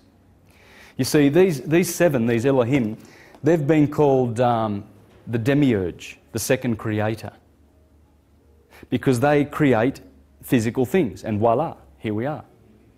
Take one of the planets away, and we disappear too. So they are the ones that, through their, their orbits and their energies and their powers, they are the ones that are giving us shape and form and, and everything. There's not a thing that they don't give us. Okay? Al Biruni, the, um, the Islamic astrologer of the 10th century, the various organs of a plant are distributed to different planets. Thus, the stem of a tree is appropriated to the sun. The stem of a tree belongs to the sun. The roots to Saturn, the thorns, twigs, and bark to Mars, the flowers to Venus, the fruit to Jupiter, the leaves to the moon, and the seed to Mercury. They control everything. In fact, Mercury, the right brain, controls all of our senses. That's why Mercury, or Hermes, the Hermetica, uh, in the East they call Hermes uh, Buddha. The Romans called um, him Mercury. Well, he controls the five senses. That's why he's the messenger of the god. You know, when you touch something, you're getting a message, are you not? Well, that's Mercury. That's what the planets are doing. The planets are giving us, are bestowing us these gifts. Uh, even if the fruit of a plant, like a melon, even in the fruit of a plant, like a melon, the constituent parts are divided among several planets. The plant itself and the flesh of the fruit belong to the sun, its moisture to the moon, its rind to Saturn, smell and colour to Venus, taste to Jupiter, seed to Mercury, and the skin of the seed and its shape to Mars. It is rare that only one planet furnishes the indicators for one subject or object. Generally, two or more are associated, as for example, when two elementary qualities are present, obviously related to two different planets. Thus, the onion is related by its warmth to Mars and by its moisture to Venus. Uh, and opium by its coldness to Saturn and its dryness to Mercury. So, when one, anyone speaks of Saturn as the significator of opium, it is merely its coldness that is referred to. And if Mercury is cited in the same capacity, it is due to its dryness. Right? Because there's cold and hot, dry and wet. They are the, the, uh, the virtues, the active and the passive virtues of astrology. And each planet has two of those virtues. Right? So we can see how the planets, how the planets uh, are creators, how they are cosmocrators, uh, the Armonian artificers of Egypt that gouge out matter. They're always gouging out matter through space and making things, manifesting things. And uh, of course, they are beneficent, but they are also tyrants. You see? Saturn, for instance, whatever is born in his kingdom must perish. Whatever is born in time, he's the boss of time, will always be devoured by time. And in fact, that's, that's what um, the, um, the astrology and astrotheology is teaching us. It's teaching us that journey, how it works, the 12 labours that we are to perform, as Samson performed, and the 12 disciples of Jesus, the 12 uh, sons of Israel, Israel meaning Isis, Ra, and El, the ones that go around the wheel, the gospel. Now, I want to get into uh, some, some of these beautiful, wonderful writers, okay? They've, they've done some amazing uh, works of art, and I want to show you what's in their, these books. Here's a guy called Malik H. Jabbar, and he's got uh, five, five or six books, I think. This one might be his sixth book, and this one is a series of five, and there's a picture of the books there. Um, if you go to uh, his website, this is how he uh, introduces his, his work. Welcome. This site provides information on the mythological origins of all universal religions. Religious scriptures are a registry of astronomical phenomena, written in a mythological format. The evolution of our modern religious concepts began with astronomy and evolved through mythology and astrology into modern religion. Many of the Hebrew myth concepts are traceable to ancient Egypt and Mesopotamia. Jesus Christ, the Son, God, is a cosmic myth on par with Osiris, Horus, Samson, Adonis, Moses, Abraham, Solomon, Noah, Krishna, Mithra, Quetzalcoatl, and many other solar demigods. Evidence clearly shows that the 12 apostles are symbols of the zodiac sign and that Jesus Christ symbolized the sun, God, in, the some, in some aspects a moon god. It is clear that the tales within the Bible are allegorical depictions of the interactions between elements of the cosmos. Religion exists at two levels the esoteric and the, the exoteric and the esoteric, the inner and the outer. The inner religion is the one where you go within, and the outer one is the one, the book, the book religions, you know. Oh, read the Watchtower and awake, then you'll be saved. You'll, you know, uh, they've all got their, their uh, publications and paraphernalia. That's the exoteric. The inner is already, you're already equipped with the inner one. That you've got forever. You're never denied that. Anywhere you go in the universe, you are never denied contact with Source. Uh, so, you know, this exposes the foolishness of exoteric religion. Exoteric religion is, is an invention for uh, teaching the mechanics to children because that's, that's the way they, uh, they remember models and they remember and imprint images and symbols on their minds. But grown ups are supposed to wake up. Yeah. The exoteric level, literal level of religious philosophy is pure idiocy. To think that the fantastic tales of demons and multi headed monsters and miraculous events of every stripe, such as making the sun stand still, dividing the Red Sea, destroying the world by flood, and all the other related nonsense, is accepted without hesitation on the basis of faith, is astonishing. Nevertheless, it is so. The esoteric level of religion is a science that is mathematical, coherent, logical, and provable. Well, I've done it, beyond a doubt. but the science of truth is veiled by the mask of mythology. The science of truth is veiled by the mask of mythology. Some are repulsed by this mask and unfortunately turn away and denounce all concepts that support the possible existence of a creator God force. The great majority accepts the myth at face value, believe it or not. But fortunately, there are some that choose the path of investigation of which you and I are a part. The purpose of these books is to explain the seminal relationship between astronomy, myth, and modern religion. The books prove that ancient myth slash religion was in fact a written pictorial symbolic record of the celestial movements within the cosmos under the type of myth mythical deities. The history of the biblical Jesus Christ is drawn from the symbolical history of prior sun deities. His birth through to his death, as represented in the Bible, is a symbolical representation of the annual sun cycle and other cycles at different levels of interpretation. Sounds great, doesn't it? Um, and I read that just so that you can get a taste of, of what this guy's thinking and how, how his, his books are just exquisite. I've learnt a lot from him, actually. I've learnt a lot about these cycles from reading his books. Uh, Malik H. Jabbar. And you can get, on, get them on Amazon. They're only about eight, eight bucks a piece. Uh, but some of the juicy things that he talks about, it's just amazing. Um, he understands that uh, Jacob, for instance, was the name uh, of the sun below the equator, and Israel, when he gets a name changed and he, and he um, wrestles with the angel and finally he conquers, he gets his name changed to Israel. Right? Abraham used to be Abram. Abram is the sun below the equator. At 90 years of age, 90 degrees, he gets a name change to Abraham. You see, so uh, he's got all that stuff in there. It's just incredible. Um,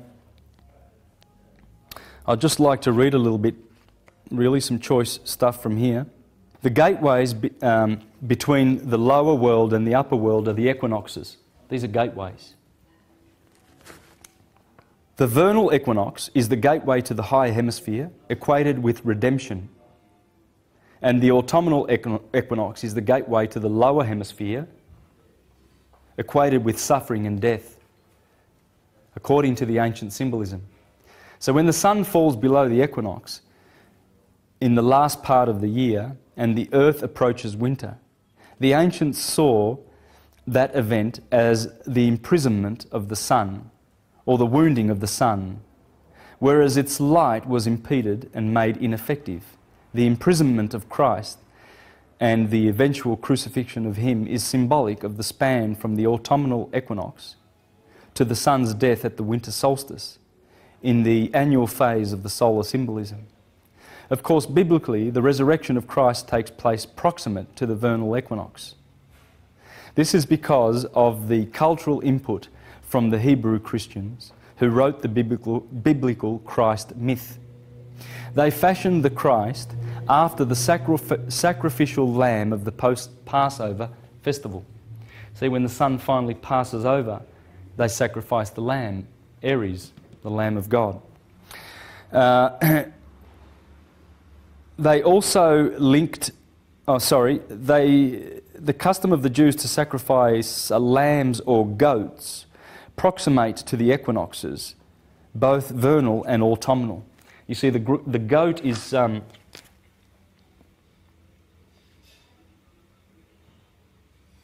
here's the, uh, the sheep, and here's the goats in Capricorn. Cap. The sheep.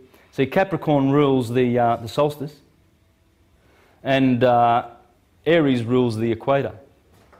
So, this is in the book of Daniel where the, the he goat and the ram are at loggerheads and they're always chasing each other. Right?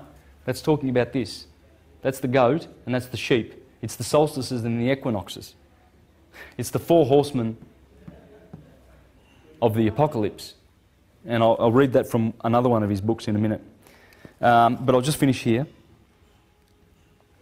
The animal was escaped. Um, they also linked this, this sacrifice, killing of the animal, to the expiation of their sins.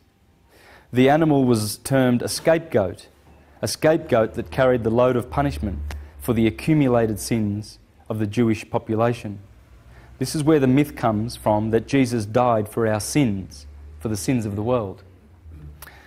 It is simply a copy of the old pagan superstitious customs of the nomadic Hebrews. The Bible clearly calls Jesus the Passover, that he was a substitute for the lamb of the Jews brought forth to human form under the Christian doctrine, which doctrine was composed of the early Christians who were actually Jews, members of a Jewish sect that later, over time, became distinct as Christians. The uh, Islamic religion, uh, early in its history, acknowledged astrology as, as a science, officially. So uh, they had the, um, the courage to do that because Rome, on the other hand, was, was killing Hermetists, Huguenots, and Waldenses, and Socinians, etc. And in the Renaissance, you see, the Renaissance was founded on Hermes, the Prisca Theologia. Giordano Bruno was killed for saying, unless we go back to Hermes, that's why I'm devoting this to Giordano Bruno. Because I, uh, like all these other guys, are continuing to further his work. Uh, and most of his work was de- dealing with this and, and the fictional aspects of the Bible and teaching that the, there's only one religion slash science in the universe, and that's this science. Yeah. This is it. This explains us, this describes us, this, this is what we do, this is it. And there it is. Jesus is there, Peter is there, Jupiter, Paul is there, Apollo, yeah. the sun, yeah. Mercury is there, Hermes, that's John. They're all there. Satan, Saturn, the characters are all there. This is what Everywhere you go in the universe where physical matter appears, there will be seven shining luminaries or orbs that will produce that. Will produce that. Yes. Yes. It's mind over matter. This nature sounds that that sound, according to, um, as he says, uh, nature sounds a seven key octave. Octave means eight, right? But you know, you always round these these. Uh, like you know, in music, you, you've got your seven diatonic notes, but it's an octave, right? So you round off. We are an octave, or we are a septenary. Everything in our bodies is septenary. The seven chambers of the brain, seven chambers of the heart, the seven orifices in the body, the seven vital organs, etc., etc. Everything about our nature is septenary. It's a serpent. That's the serpent. And uh, the serpent is sitting, sitting here. Um, Ophiuchus is in the sign of Scorpio. Let's have a look at Scorpio. Scorpio with the red, red star in it. Okay? Um, there is Ophiuchus, the serpent bearer. So, Ophiuchus, what he does, he's carrying the serpent, and the serpent's head is right next to the scales of Libra. You see, we, we saw that before, right? And the serpent is, is saying to the, the woman, and Bootes, her husband, is, is Adam, this is Eve, Virgo. It's saying to her, eat from the tree of the knowledge of good and evil. This is the good, this is the evil. And the scales uh, are denoting that because once the sun goes through these signs, comes to a point where it has to flip over its polarity. It's given an electric summer, but now it has to change its nature. And it must flip that polarity and give, produce a winter. So it tastes from the tree of good and evil. Having tasted good, now it must have evil. And that's the serpent that is at the tree deceiving the woman because she eats from it first. Bootes follows. So let's have a look at uh, the four horsemen, shall we, of the apocalypse. Uh, the white horse symbolizes the vernal equinox. The red horse symbolizes the autumnal equinox.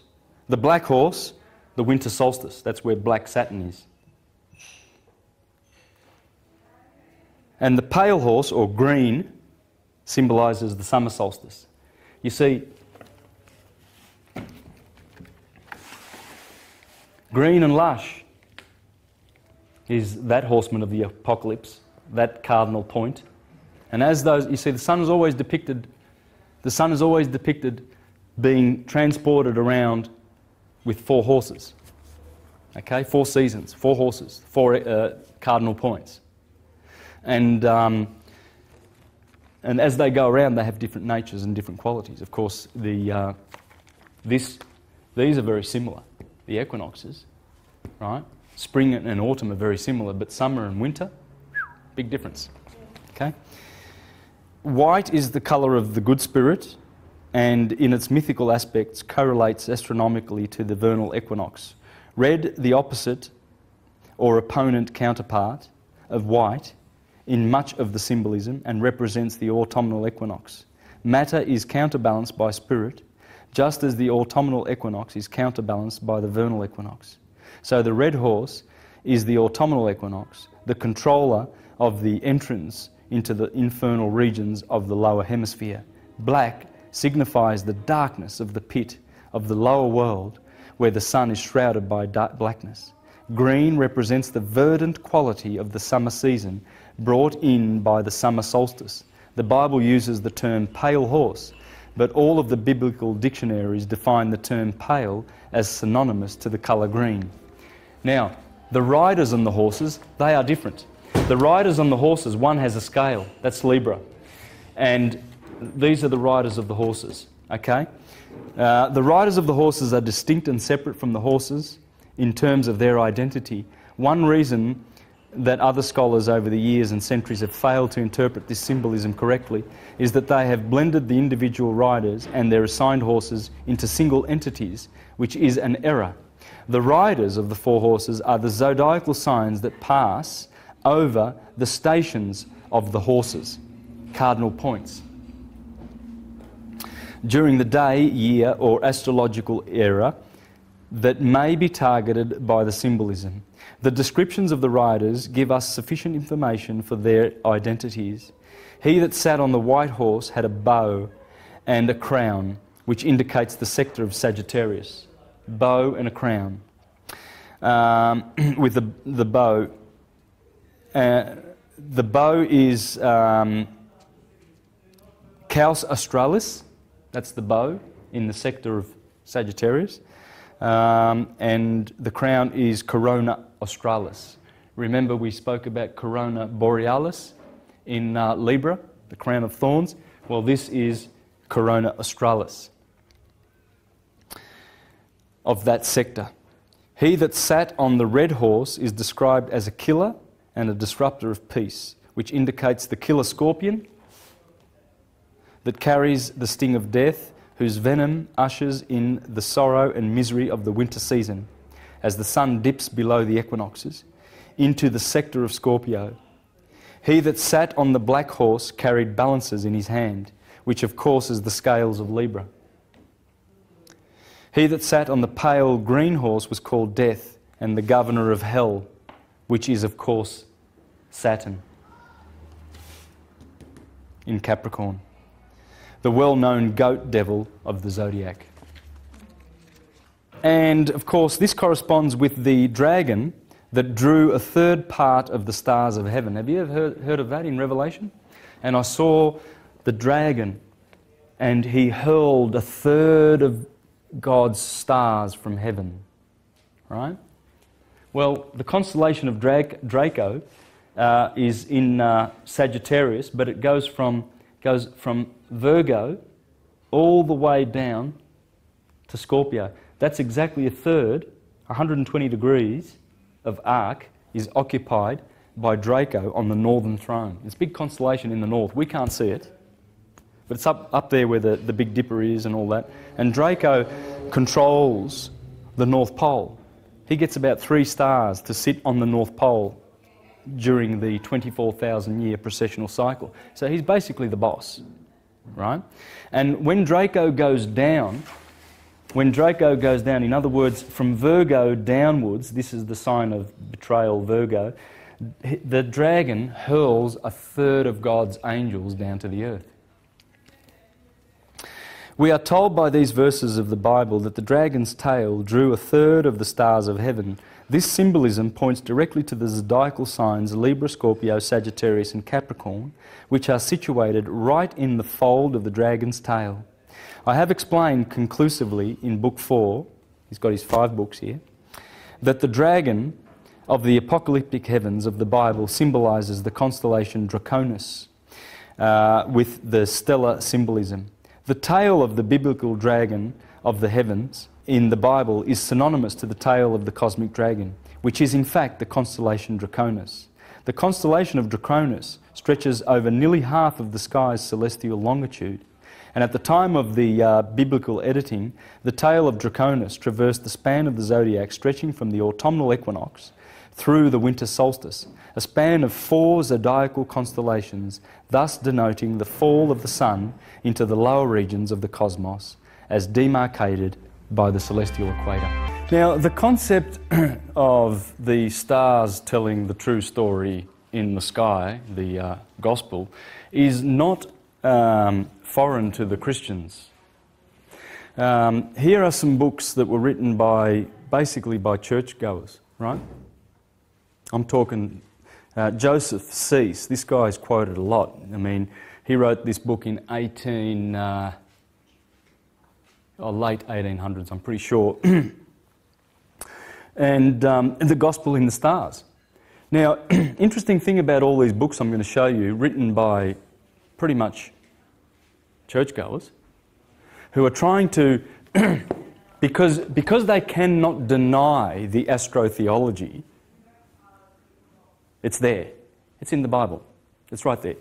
You know, Jesus has 12, Jacob has 12. I mean, here's a, here's a passage in Revelation.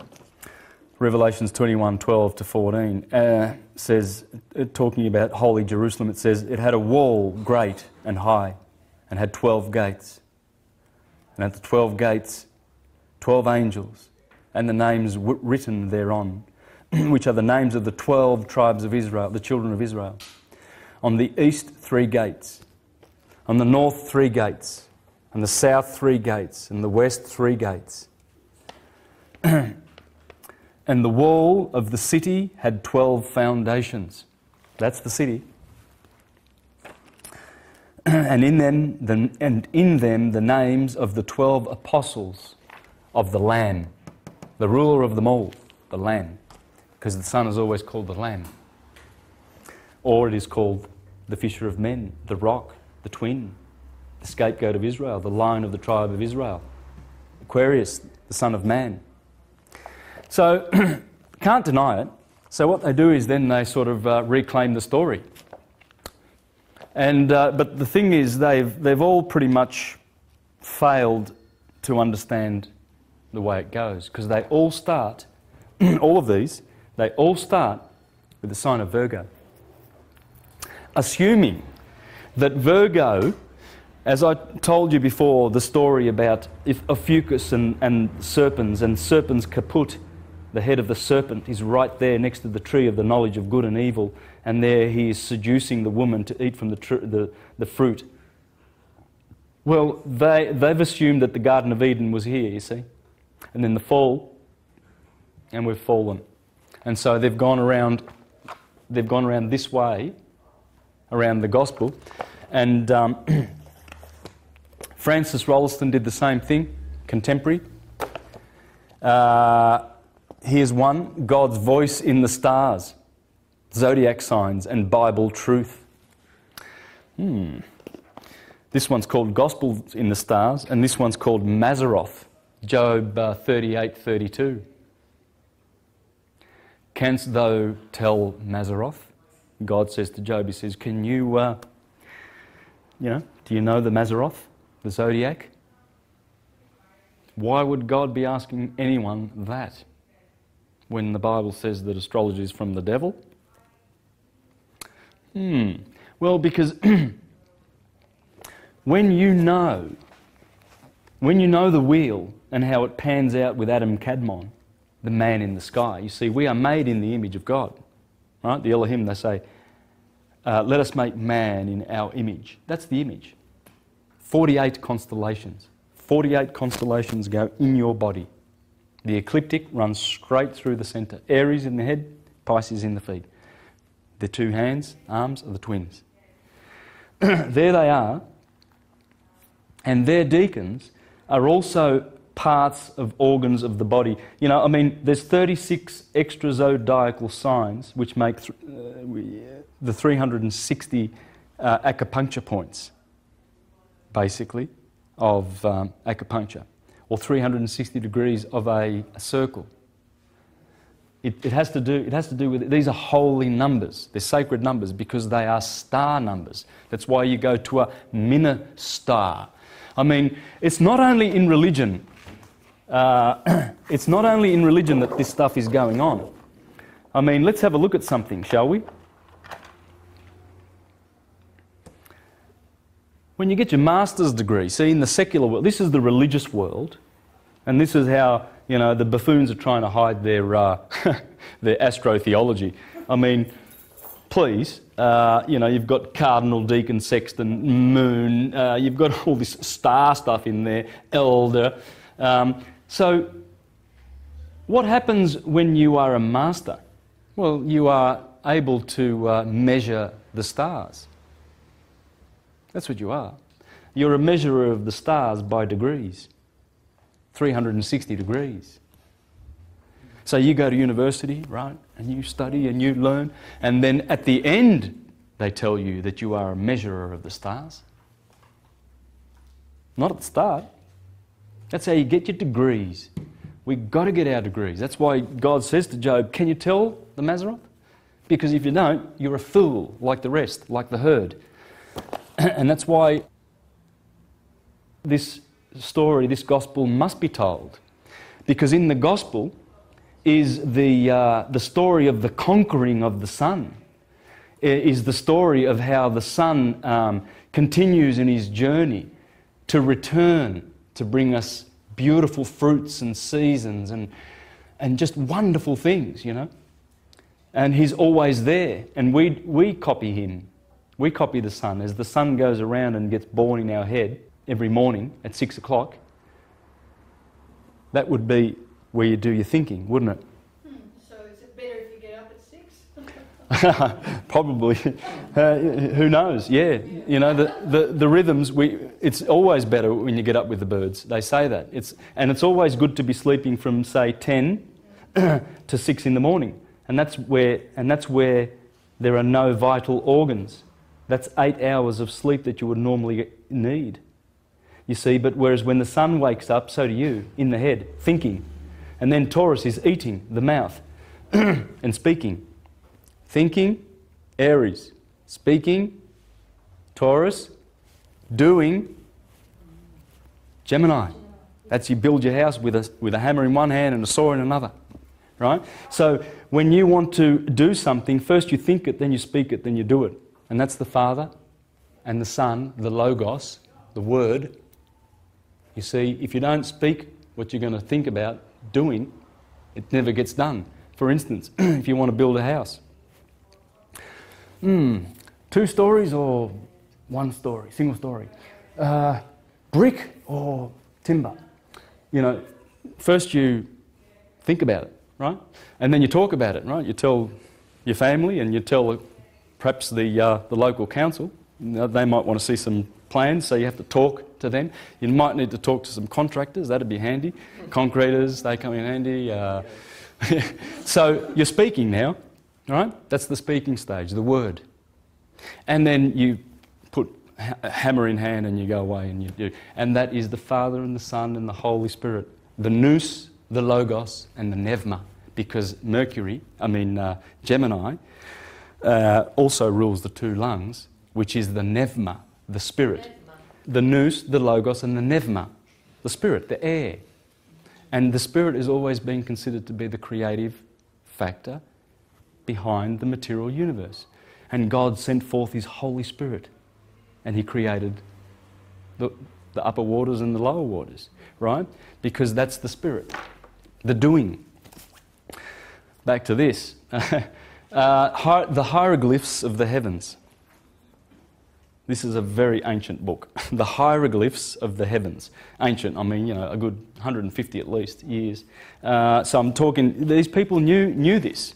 Um, but they were all reclaiming the story of the gospel for Christianity because you can't hide it. But they all, interestingly enough, start their gospels from here whereas the, the Gospels truly start from Aries and Capricorn.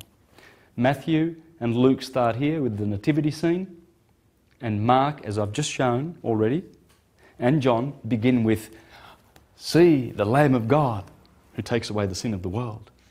Because as we've already read, this was dealing with death and sin and, and, and, and awful things, whereas now the Son has, you know, returned and repented. Um, so you've got that. Uh, this is an interesting one The Witness of the Stars by E.W. Bullinger.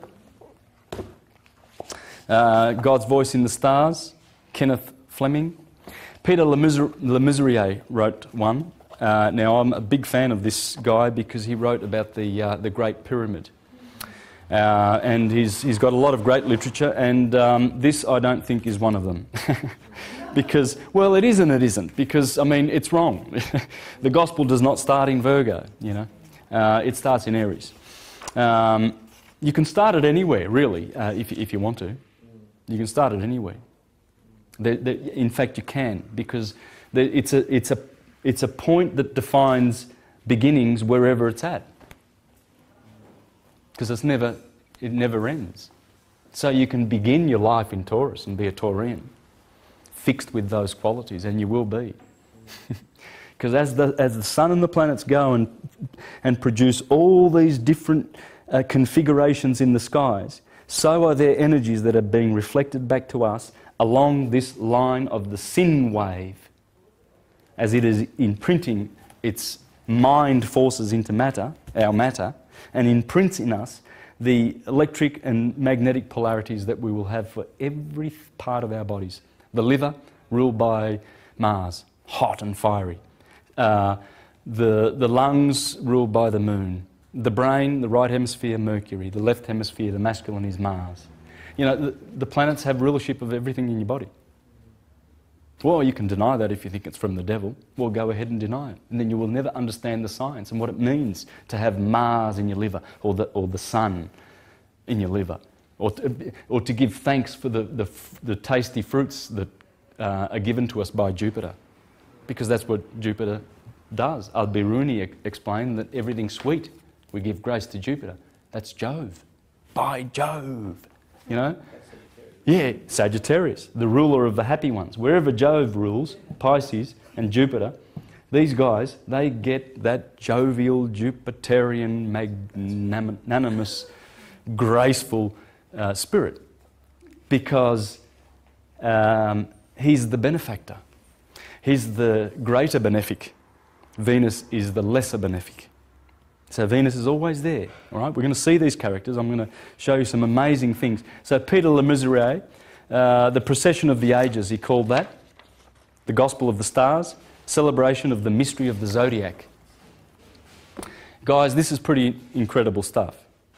Uh, you know, when you really think about this, that Christianity or the churches have tried to reclaim this, this gospel. There's only one. There's, this is the Hermetic one. This is Hermes, pure Prisca Theologia, you're getting here. This is ripped straight from Egypt.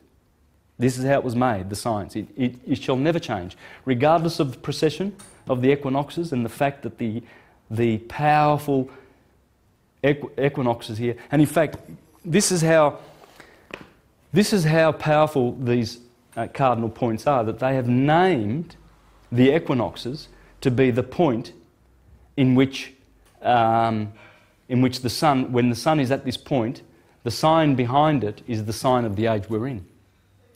In other words, on March the 21st, every year, when you watch the sun rising, right, you find what is the planet behind that? That's the age we're in. So for 2,000 years, the sun has been, be, uh, the, uh, Pisces has been behind the sun for 2,000 years at this point, the equator. That's how important they are, the four horsemen of the apocalypse. What I'm going to do now is share with you some interesting facts, okay? Just some little tidbits about, um, about this science to show that this was once upon a time a world religion slash science. Right? Before patriarchy came in and the theocratic types. Right? They are the ones that pushed aside the deists, the people who are worshipping the Creator through this science. The theocrats come along and they say, ah, God is like this and God is like that, and he's an interventionalist. You know, he just uh, jumps in every now and then and says, Oh, I'm going to destroy Sodom and Gomorrah now because they're naughty. Uh, so I'll, inter- I'll intervene in, in man's affairs. Uh, you know, well, see, that's the kind of God that they paint, the theocratics, because what their intention is, is to dominate and enslave mankind with, a, with an idol. You see, Jesus never was a man. What benefit is it anyway if he was a man? If, if he was and he said those beautiful things, great, because those things in the Bible are beautiful. The science behind them is beautiful when you work it out. It's all about the transmutation. But the, the fact that Rome did this is the fact that they've gone after this knowledge and persecuted, persecuted it, and uh, given us a some sort of a historical tradition whereby they can go and meddle in your affairs. In fact, they can call an inquisition if they like. And Rome did do that. The pages of history are bloodied with their deeds how they used Christianity to uh, bring people into the Inquisition, like Giordano Bruno. For seven years, uh, they had him in Rome, and they couldn't get him.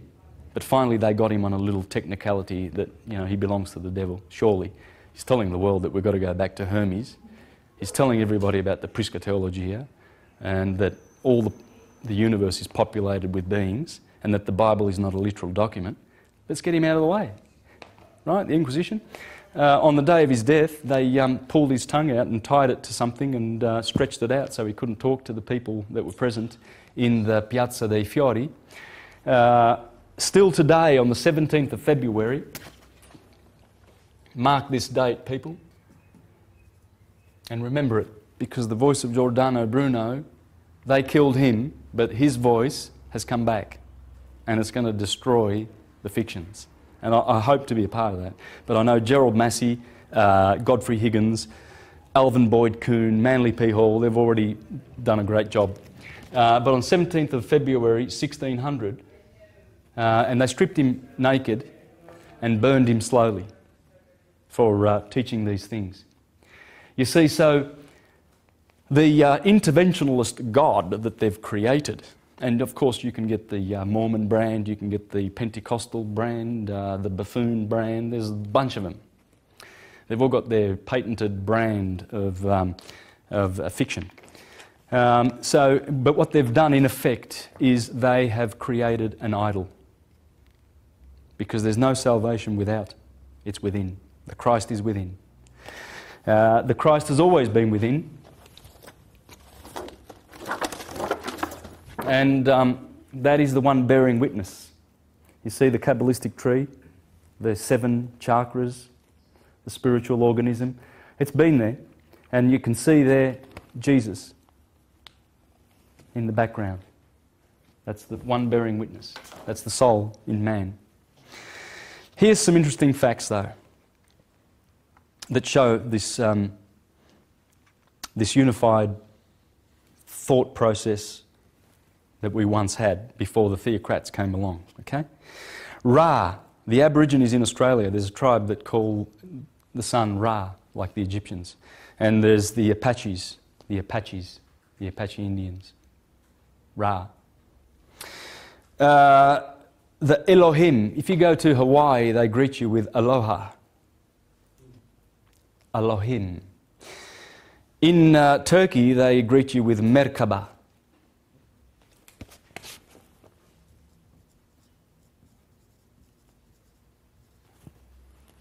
male, uh, a female male vessel.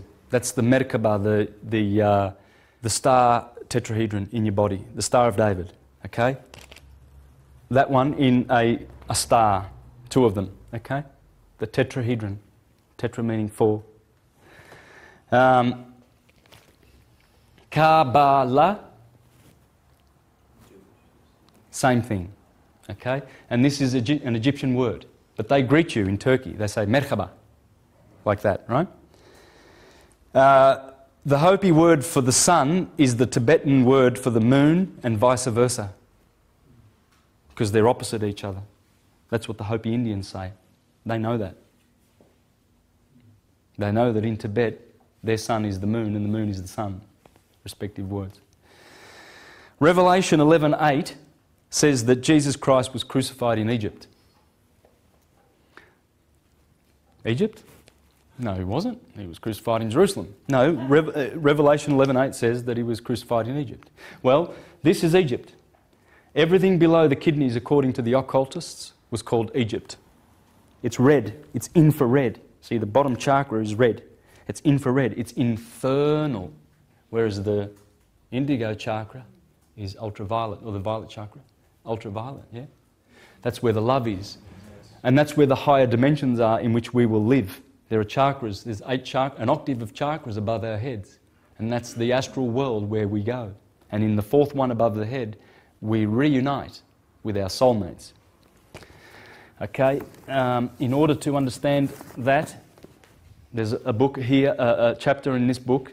This is probably the, the biggest consciousness expander that you will ever, ever bump into on the planet. This is all about this. That's where I got it from. Thomas H. Burgoyne. The light of Egypt and the science of the soul and the stars. As above, so below. By the way, that octave is where we're going next. It's an invisible life. This is visible only because our eyes tell us that it's visible. But all this that we see, anything, is all just motion. Okay? So as we go up There's an octave of eight above our heads, and there's eight octaves to reach course. That's where we're headed. That's the gate back. As the Jews call it, as we descend down, down the word, uh, the, the worlds, there's the Adam Kadmon and the, emin- the four emanations of Kabbalah. You have uh, Ats, Ats, Atzula, you have um, Beriah, you have Yetzirah and Asaya, the four worlds. And as you climb down Jacob's ladder, there's 125 steps. And then you've got another 125 to go back up. Where are we? Well, that's up to us. It's up to our, our decisions and how we live our lives. But um, that's why Jesus was crucified in Egypt, because he gets crucified there on the 21st of December. On the solstice, there was a, uh, there was, it's interesting because that's where, where Jesus gets crucified, but he also is born on the 25th of December, right? Well, there was a guy called Cyprian who said, um, Oh, how wonderfully acted, acted providence that on the day on which the Son was born, Christ should be born. you know? Uh, but then you get the Jehovah's Witnesses who say, yeah, but the Bible doesn't say he was born on the 25th, so, and no one knows when he was born. Yes, that's right. But the point is, when you, when you apply all of the, the Christian theology and all of their conceived notions and ideas and, and put it onto that, then you get the origin of it. It's, it's there. Um, you see, and look, when, when, you, when you draw this circle and, and, and you put the cardinal points in, that's actually the sign. That's the glyph in astrology for the earth, right? That, there it is, that's the earth. The sun is that. That dot and the sign of multiplication and addition and the sign of division and subtraction, right? They're all in there. This is earth, as I've already said, because it, it's, it adds. Uh, where did your bodies come from? The womb of your, your mother. Because the mother is the matter. The father provides a little egg called a sperm, that's invisible, that's the spirit. But once they meet in the womb and they, um, the two eggs un- unite, um, then they double and then quadruple, and then they make the Star of David tetrahedron, star tetrahedron, and then they, and I, and I think that's the last division um, before, before it um, just all those original eight cells, according to Drunvalo Melchizedek, uh, those original eight are in the, the centre of our body and are the original cells that we, we kept from our mother's womb, and they make the star tetrahedron. The Merkaba has its centre in there, and that's what's causing our Merkaba, Merkaba spin, right? Um, but the earth sign is feminine and it adds. This is water and it multiplies. Water is generation. Scorpio, the generative area. The moon. Um, and the male signs dividing or subtracting and division. And that's the sun, the dot. All these, all these express the, um, the science of what we're up against. Now, to understand uh, that better, all of this, uh, Alvin Boyd Kuhn, the esoteric structure of the alphabet, and it talks about this. Uh, let me press forward. Now, a lot of people say, oh, but this is only in English. Can't do it in Italian. Oh, yes, you can. I can do it because I speak Italian. There's, there's more connections in Italian, but you just lose all the, all the thing. Uh, but I've already mentioned the word bello. It comes from El, Baal. Because if you're as good looking as Baal, the sun in his splendor, of course you're bello. And the Spanish article for um, the male article, uh, definite article, uh, el. And in Italian it's il. In French it's le. Right? It's the same thing. It's el, it's the sun. And la, like would be in French, Italian, and Spanish, is la. Uh, that would be luna. Yeah. That's what the Elohim mean. El is masculine, Eloha is feminine, and the M is plural. Male, feminine gods. Saturn is a boy, Jupiter is a boy, Mars, a boy, the sun. They're all the top, top boys. All right? And the feminine ones are below in the, in the uh, uh, sub-solar world. Okay. Um, let's have a look at some characters that turn up in the, um, in the Gospels, right? When the sun comes through Libra and gets judged, we've already discussed that. Um, and, uh, and so the betrayal happens, okay? That's the same as um, Delilah betraying Samson. Del- Delilah means the door uh, to darkness. Uh, Layla meaning the night, I think. Yeah, the night. So Delilah is like door to the darkness because she's always there. At, she rules four to six every day. So she's the door to the darkness. She betrays the sun because she says, Whit, you're going to go down. you're going to get judged by the Philistines. She, she betrays Samson. Of course, Samson has seven rays, you know, seven locks of hair, and they cut his seven. Again, the number seven keeps turning up. Interesting, no? Because the sun is the seven rayed God, according to Proclus. And that's what they always called him, the seven rayed God, because he has his seven helpers, doesn't he? So Jesus gets betrayed by Judas Iscariot. Okay? The, the sign of Scorpio looks like this. Uh, what would that be in the alphabet? Yeah, beautiful. Judas Iscariot. So when the sun, when the sun, and Antares, the red one, is right here. Okay? I've pointed that out. When the sun goes down below here, and, and it's like Adam and Eve ate from the tree of good of knowledge, so God gave them garments, right? Well, that's what you do when you go down to winter. You need garments, otherwise you freeze. Um, so, but Jesus, he gets betrayed by Jay, Scorpio.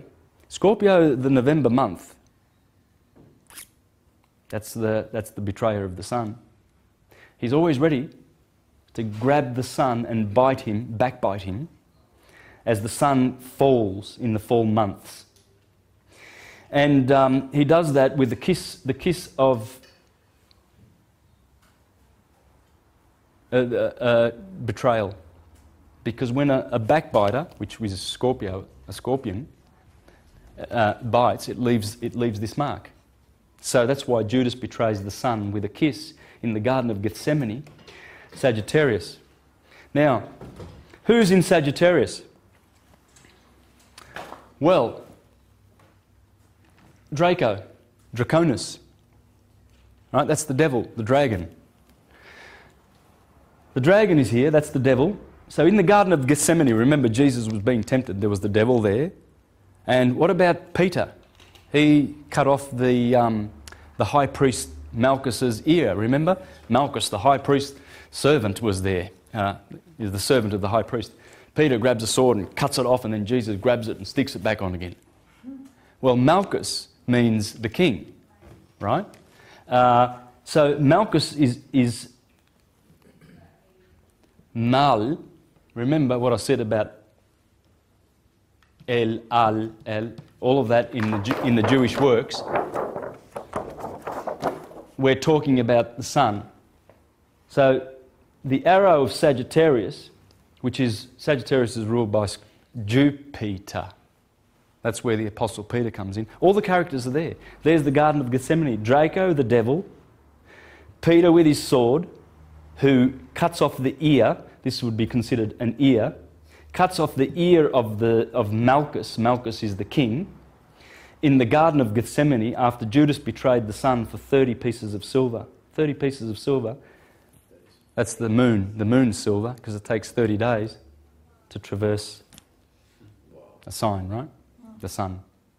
Because 30 pieces of silver are worth about 13 cents. Check it out. It was worth nothing. So you see, these are not physical events. These are events in the sky, the gospel. Um, have a look at this picture here. The Vesica Pisces. There's the Virgin Mary. Remember the two eggs that unite? That is the vagina. Okay? That's why Mary looks like that. Take note. Look carefully. And, and, and, sh- and yeah, and she, yeah, and she is in the Vesica Pisces because this is where the, the soul comes into the world. Because when those two eggs unite, they make one egg, right, in the womb. And then they divide. But as they divide, the soul uh, is supposedly, or, or the spirit is, is in there. And that's what it's, the Vesica Pisces is teaching. See the 12 stars around the Virgin's head? That's the 12 stars. And um, there they are, the Alpha and the Omega, the seven vowels. A, E, E, I, O, O, U. That's the Om, the Amun, the Amen. Um, the Alpha is, there's the Greek word for Selene. There's uh, Hermes, Mercury, Hermes. There's Hermes. Herm- Hermes, or Hermes, the swift of feet, Quicksilver. Mercury's fast, right? Because he's near the sun and just 88 days, whizzing around, all right? But there's a Selene, anything with a Leni, like Jerusalem or Helen of Troy or Magdalene, it's the moon. Uh, Selene, what have we got here? Venus, Aphrodite. And here we've got the I, the letter I. Remember, yes, I E S, the sun, yes. That's his sound. Ilios, or uh, Elios. There it is. That's an E. That's an E in Greek. Aris, Mars, the keen of sword. Uh, Zeus, Jupiter, the blazing eyes of wide seeing. And Chro- Chronos, Saturn, the white hair of Hori. This is the description that the Apostle John sees in Revelation, and he, he actually describes the seven planets. He describes them. The Cosmocrators in the first chapter of Revelation.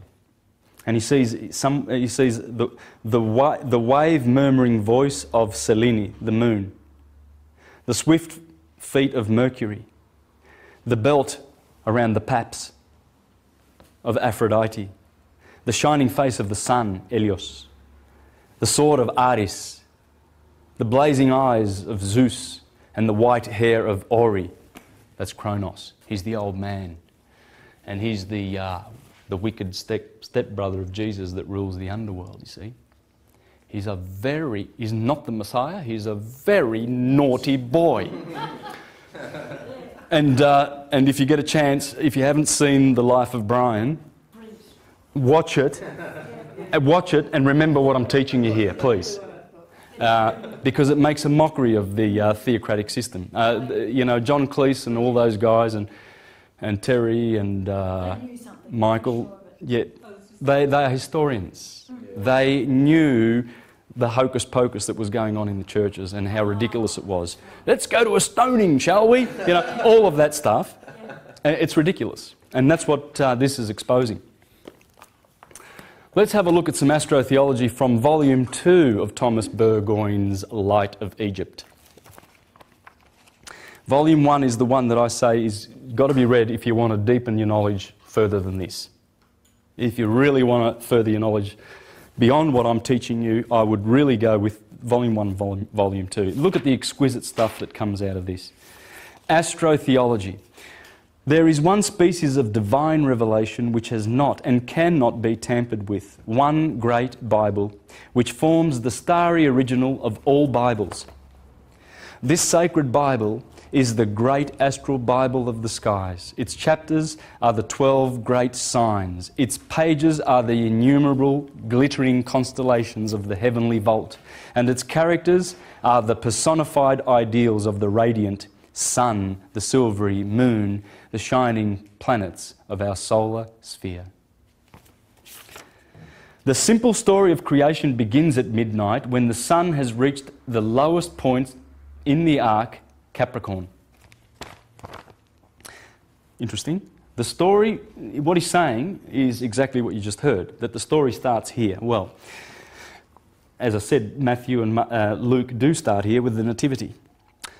All nature then is in a state of coma in the Northern Hemisphere. It is winter time. Solar light and heat are at the lowest ebb, and the various, uh, various appearances of motion, etc., are the sun's passage from Capricorn to Pisces, 60 degrees. And from Pisces to Aries, 30 degrees, marking 90 degrees or one quadrant of the circle. Then begin in real earnest the creative powers. It is springtime. The six days are the six signs of the northern arc. That's the northern arc. That's what's called the northern arc. That's the Jewish menorah. The sun's always at the top. Moon, Mercury. Uh, sorry, Moon, Mars. Well, anyway, uh, it goes like this Sunday, Monday, Tuesday, Wednesday, Thursday, Friday, Saturday. Saturn's always over here, the moon's over here, the Alpha and the Omega. Remember, the moon is the Alpha, and Saturn, the very naughty boy, is the Omega.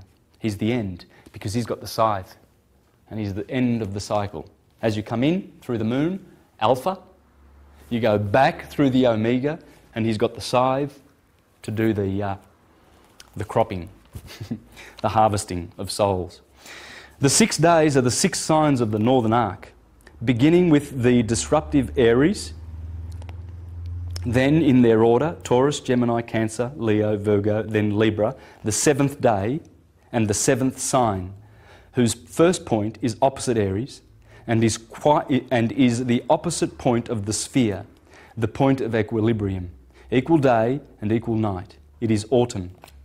It is the sixth sign from Aries, the first creative action. And so the sixth day following the fiery force, wherein God created the bisexual man. See Genesis 1 5 to 27. So God created them in his own image. In the image of God created he them. A him, male and female, he created then. It is the seventh or the day of the Lord, man, the climax of material creation and Lord of all living things, and he rests in the blissful Garden of Eden, the seventh day, and the seventh sign is the concealed sacred Libra, the perfect union of the senses.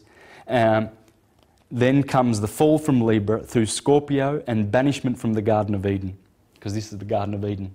This is banishment from the Garden of Eden. Um, it is the story of Satan or winter over summer, etc. It is useless to repeat the same old story, same old, old story. Put two olds in there. Uh, the yearly journey of the sun around the constellated dial of deity is the astrobasis of all primitive cosmology. Hermes Trismegistus if you want to see the origin of the Gospels, read this. Okay, this is the uh, divine Pymander. Pymander is the mind of God. It's the space, right? That's the mind over the matter. Pymander, and this is, um, look, I can read portions of this, and you will, you will see. Uh, here we go. Verse 5 Out of the light, holy word Logos descended on that nature. Hmm, interesting. What we spoke about Logos, didn't we? It's the Sun. It descended. The Holy Word, light, Logos, descended on the nature. That light, he said, I am thy God. Mind, prior to moist nature, which appeared from darkness. The light world, Logos, that appeared from mind, is Son of God. This is, this is um, incredible how many similarities there are here to, in, in here to the Gospels. just another point on the languages. I, I was mentioning that about um, Italian and French and everything like that. It's interesting. The son here is called Horus. He's the boy. Osiris, Horus, Ra, the radiating sun, right? Ra, radiate. Uh, and then here it's called Set because the sun sets. Yeah, and, and Set is the enemy of. The, these are the two warring brothers, right? Horus and Set, Jesus and Satan. Set is Satan. And in fact, uh, Satan exalts in Libra. So Horus exalts here, but Sa- Satan, Set, exalts here because it punishes the sun, right? And brings in the magnetic part of the year. This is all physics. you put your physics hat on when you're, when, you're, when you're looking at this. Well, the Italians say um, hour, that's the word for hour, right? The Italians say um, ora. Does that look like oris to you? The French say heure. the Greeks say ora. This is all, I mean, you can choose any language and do this. The, the words are there, they are still there. I mentioned this book before, uh, The Biography of Satan. And this is Kersey Graves, okay, dealing with astrotheology uh, over uh, 130 years ago. Here's what he said on, um, in chapter 7 of this book Winter was, with her cold, bleak drapery and her widespread desolation and destruction, in the estimation or imagination of the ancients, the principal and most prolific source of evil, i.e., the god of winter. That was the most prolific source of evil. Right there, people. This is, this, and this is how it works. You're going to see this is beautiful. The principal inhabitants of the earth, as uh, heretofore intimated, have, having noticed that during six months of the year, the powers at work in nature are engaged in fructifying, vivifying, beautifying, producing, etc. And that during the other six months, some apparently adverse power arrested, blasted, and destroyed those desirable operations in, and their results. They hence imagined two contrary hostile powers engaged in perpetual war against each other. And as the six spring and summer months were attended with almost perpetual sun, sunshine, and the growth and, and production of fruits and flowers and culinary or edible vegetables, things that were calculated to supply their natural wants, they were regarded as constituting and became known as the true kingdom, the kingdom of heaven, summer while the winter months were denominated the kingdom of darkness, winter. The former was also called the kingdom of the sun, or God who dwelt in the sun. This imagery uh, entrance to the kingdom, this imaginary entrance to the kingdom, which it was supposed opened to the sun as he left the Tropic of Cancer to travel back to the south, was called the gates of heaven, while the fancied passage through the other tropics constituted the gates of hell. At the first stood the Lamb, the zodiacal sign of spring, to usher in the glorious sun or sun god. As he drove up with his fiery steeds, remember the horseman, drives up with the fiery steeds to the portals of paradise in early spring. At the latter stood the hideous scorpion, scorpion, dragon, or devil, ready to drag everything accessible to his clutches or power. Down into his bottomless pit, at one time hitching his tail over and pulling down one third of the stars. Remember, the, dra- the dragon is here, and he pulls down a third of the stars. That's a third from here to here. Hence, you will discover that the devil is from above and not from below. Though he descends below every six months into Hades, as hereafter explained. you will find by consulting your almanacs that Aries, the lamb or ram, is the zodiacal or astronomical sign for March and the first spring month. And the first spring month. And the scorpion was, through the eagle, uh, though the eagle is now, the sign of October, the first winter month, in the bisectional division of the year. That is, by dividing the year into two seasons of six months each. St. John speaks of the dragon having power to hurt the five months. And astronomically speaking, he does hurt the vegetable production of the five principal prolific months of the year with a vengeance. They are the five months, these from here, from Scorpion to Pisces. That's the five months that, that um, um, the dragon has power to hurt in Revelation. And St. John's monster with the seven heads and ten horns may find a solution in astronomy or astrotheology by assuming the seven heads to be the seven summer months. As some nations divided the year in this way, and duplicating the five winter months for the horns. And then the story of the dragon pursuing, again, you see the seven summer months, the seven. Uh, white notes of the piano and the five black notes of the piano. There's always this 7 5 going on. Okay? How easy it is to imagine then, by observing in the almanac, that the dragon or scorpion, the same thing, is the next sign after the virgin.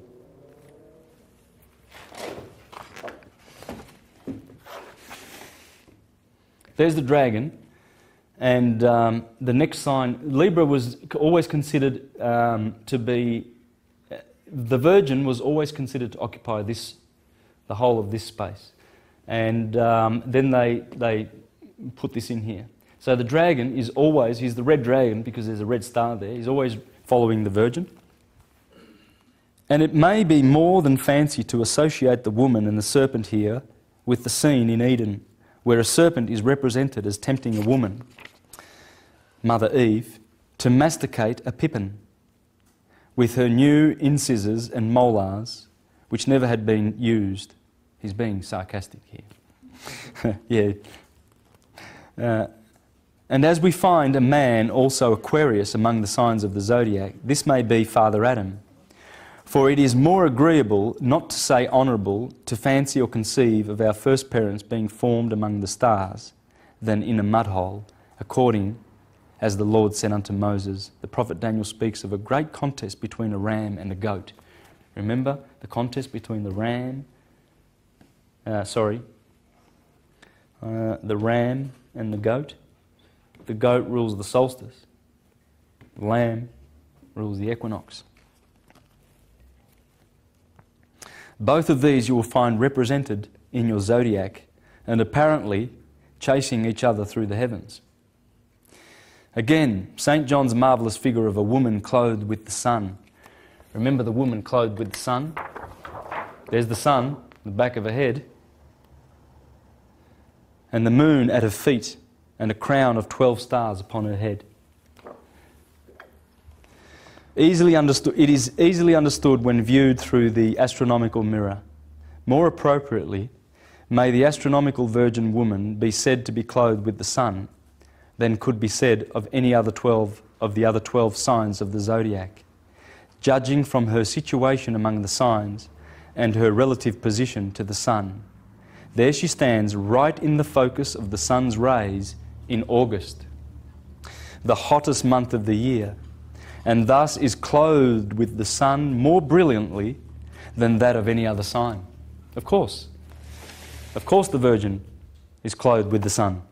And in here he talks about how the woman is being chased by the dragon and he follows her into the wilderness.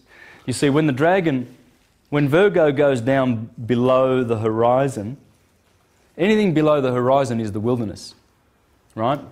When, when the sun sets, it's gone down into the wilderness. That's what the astrologers um, used to say. So he follows her into the wilderness, right? And then it says that he gouges out a river from his mouth to swallow the woman. Well, what's coming up is Eridanus. Eridanus runs from Aquarius, opposite Leo, right? Eridanus. You'll see it in the sign of uh, Taurus. From the feet of Orion and from, from, from Aquarius comes the river. And that's the river in the sky. In Revelation, Jesus has 12 stars in his right hand, 12 congregations that are in Asia. Uh, sorry, uh, seven. Seven stars in his hand, and the seven stars that are in Asia. Now, when you, um, when you, follow, when you follow those, um, those stars, the first one, the first congregation is in, well, they're all in Asia Minor. Now, Asia Minor is like modern day Turkey, so it goes out like this. And um, of course, they reckon Troy was here somewhere, but you've got um, the cities uh, going from Ephesus to uh, Laodicea actually form an arch, right? And it's this arch here. This is Ephesus, and this is Laodicea. Now, this is explained by the Reverend Robert Taylor in the year 1830. He went to jail. He went to jail for um, teaching this stuff. And we, um, you know, I, I, I, can't say enough. I learnt so much from this book. This is the best astrotheology that you will get. He has deciphered them all, all of them. Um, and I've, I've done portions of this in some of my other videos. I've done the, um, the Gospel of uh, Luke showing how um, uh, the Virgin visiting Elizabeth and, um, and all of that stuff having to do with the Gospel of Luke and the very first chapters um, is explained in the stars. First city is Ephesus.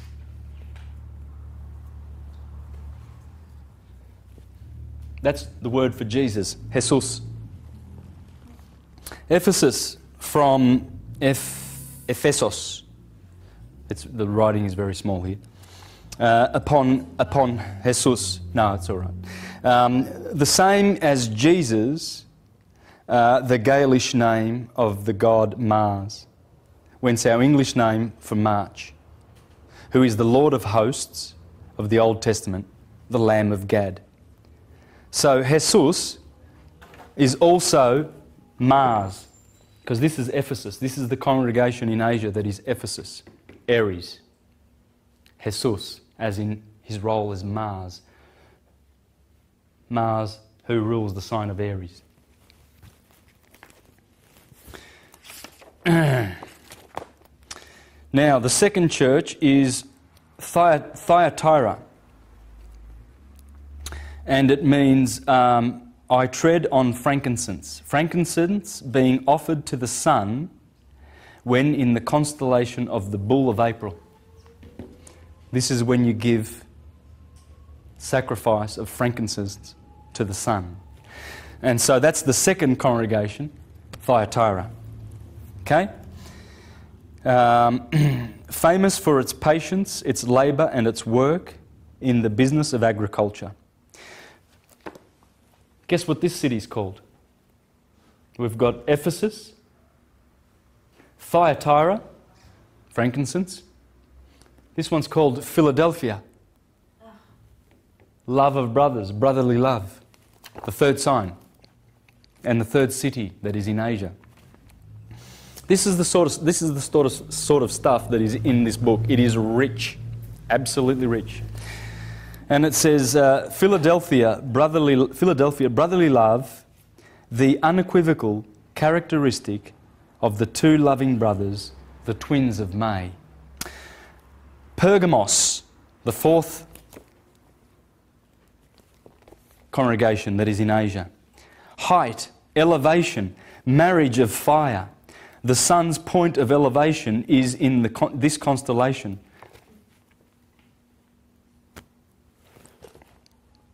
Which dwelleth where Satan's seat is.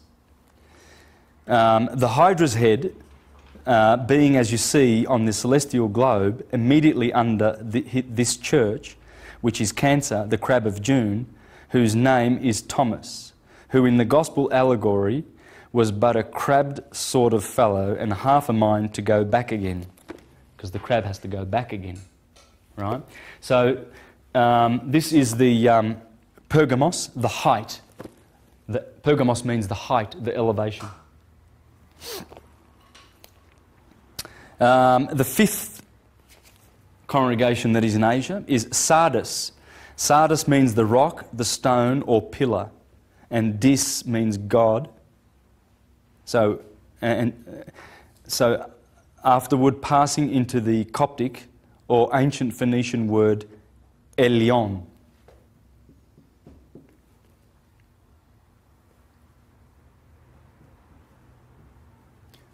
Right? So Sardis in the Phoenician is Elion, the sun.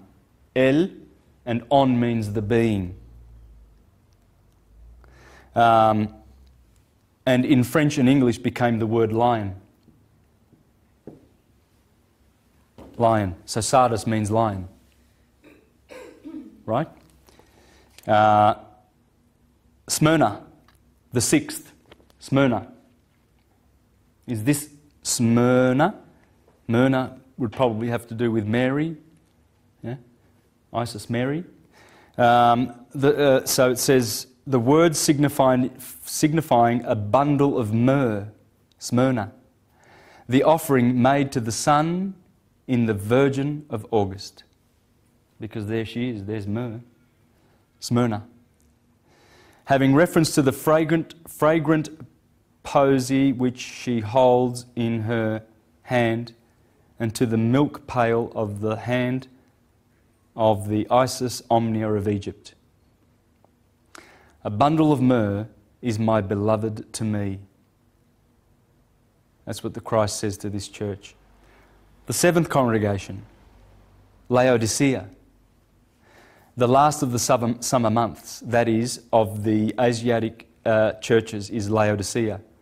That word signifying um, the just or righteous people, living as you see in the scales of justice. Libra, the balance of September, when the weather is neither hot nor cold but lukewarm, for which Christ, who, like Christians, had no notion of justice, threatens, spew it out of his mouth. Because they had lukewarm water in their mouths. He said, oh, He threatened to spew it out of their mouths. This is the lukewarm part of, of summer, he's saying, and the justice. So you got Ephesus, or Jesus, Jesus in Mars. Thyatira, which is the frankincense offered in this month.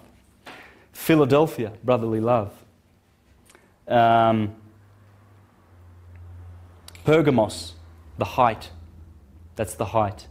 The month of the height, the highest. Cancer.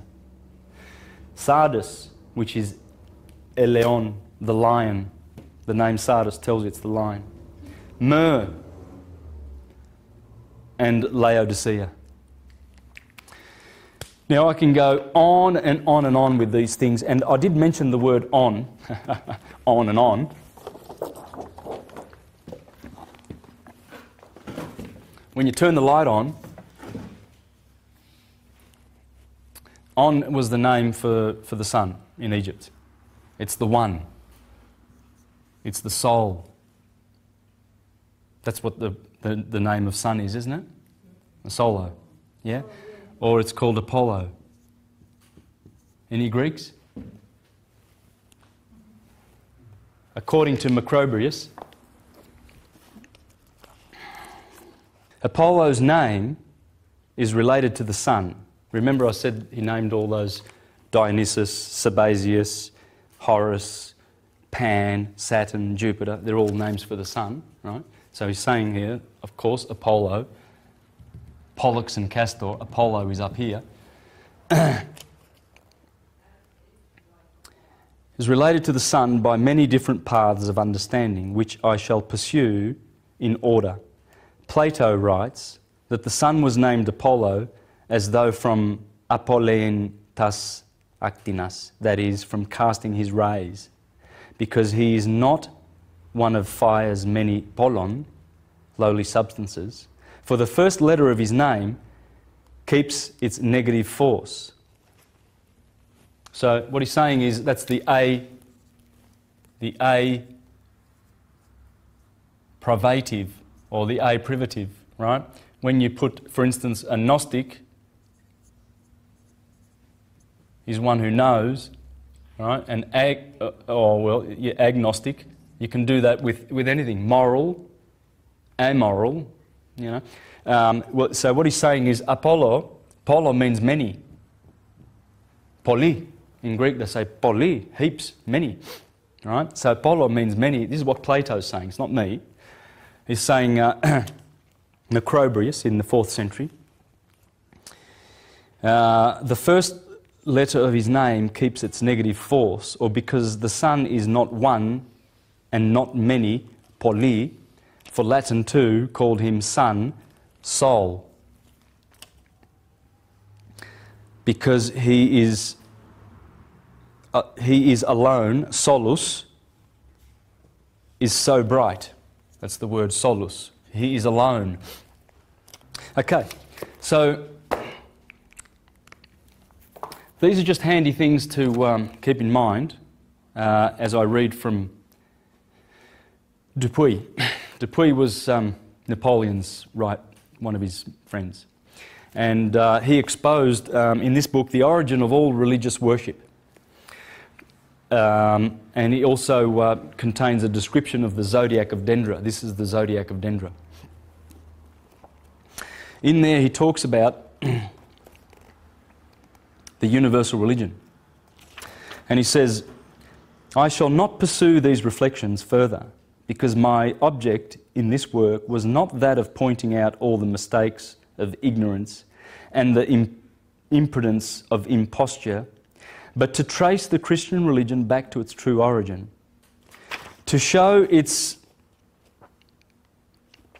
filiation, to explain the bond which unites it to all the others, and to prove that it is also included within the circle of the universal religion, or of the worship rendered to nature and to the sun as its principal agent. How beautiful those words. Aren't they just magic? Uh, I just I marvel that you know we've had these shining lights in our culture, but the priestcraft have made sure that you know you don't go reading these books.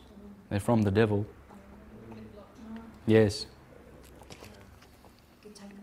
And he, he was very scathing toward the uh, priest. You think I'm scathing? I'm, I'm mild. I'm pretty mild. Um, because it's, it's an aberration when you wake up and when you see these things. You see all of these things, man, they're standing out. I, I don't put them there. You know, I, I, this is, look at that, you know. That's there. The setting sun right there on the scales, balance. A scorpion right there to bite the sun. A lamb, the wool of the lamb being the blossom, the bull to plough. It's all on cue. I, you know, I didn't do that. Judas.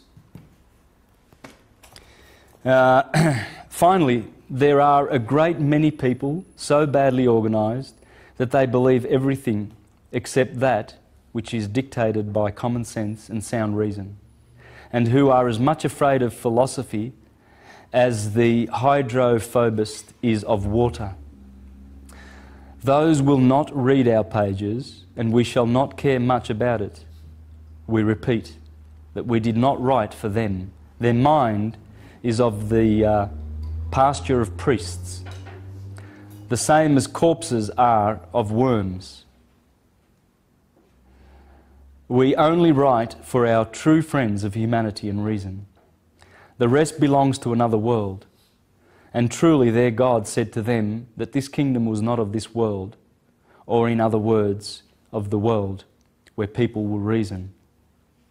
And that blessed are those who are poor in spirit, because the kingdom of heavens belongs to them. Let them have their chimeras, and let us not envy the priest for such a conquest. Let us pursue our way without stopping to count the, me- the more or less suffrages which may be obtained by thus offending credulity. And after having laid bare the sanctuary wherein the priest shuts himself up, let us not expect that he will invite those whom he cheats to read our work. Yeah, they're not going to invite, you know, there's no priest going to say, hey, listen, you want to know about the, uh, the true Prisca Read, uh, read Dupuis. He's done a, done a great job. No, the priest is going to say, I've got some books for you. Oh, he's going to love indoctrinating that. and a lot more too. A lot more than that is he going to serve up to that poor child. They've been exposed. The day for fiction is over. Okay? This has busted them. Kersey Graves. Kersey Graves, that's the same book I read from before, uh, uh, uh, same author, Kersey Graves. He wrote in his book, the, the World's 16 Crucified Saviours, he wrote to the clergy way back then and he said, Your game's over. You've been busted. What are you doing? Why don't you go away? Well, the reason they won't go away is because the elites need them. You know, the elites pump a lot of money into the 30,000 fictional Christian religions. They're corporations, they're all doing business. They are corporate entities, all registered with the Securities Stock Exchange Commission in New York, as is our country. Everything in this country is registered in New York. This is one of the states of New York. This is what they do. The people put money, the elites, into their fiction because it serves them. It makes fools and buffoons and slaves of people and little sheep that they can shear. You know, they can uh, fleece and pull the wool over their eyes and lead them to the, the, the slaughter like lambs. There's 30,000 registered ones of these. And they get away with their buffoonery by calling themselves charitable organisations. That's what we're doing, but we're registered with the government. Um, well, that's because you have to. You know, I've, I've talked to Jehovah's Witnesses and, and, and such like, you know, uh, mind controlled idiots. Um, and, and, I, and I have to say that because a lot of these were my friends. I've known, I've known in Melbourne, they all know me. I used to serve in the Portuguese speaking congregation for two years, served in an Italian speaking congregation for four years. I've served as a regular pioneer and a ministerial servant. I mean, they all knew me. Now, I've got congregations of people that know me. I used to go around all around Melbourne giving public talks. Uh, I was zealous. So, Yeah, they want them before the age of seven. Sodomise them good and proper. They do. But uh, I remember just recently speaking in the mall with a couple of these buffoons, and, and I pointed out to them that their uh, church is a corporation registered, uh, registered and everything. And, and is said, yeah, oh, yeah, well, that's, you've got to, otherwise you can't function. Yeah. Go and talk to some of these um, uh, Quakers and, and, and, and, some of these uh, real, true uh, spiritual religions that are unregistered and they're looking after their flock all right. You don't have to be registered.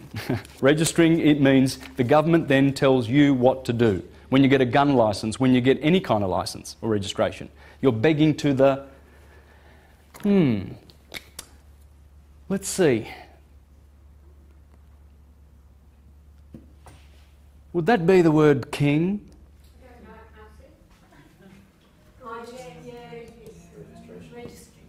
Yeah, so we have to be registered uh, uh, in order, as a corporation, uh, in order uh, to function.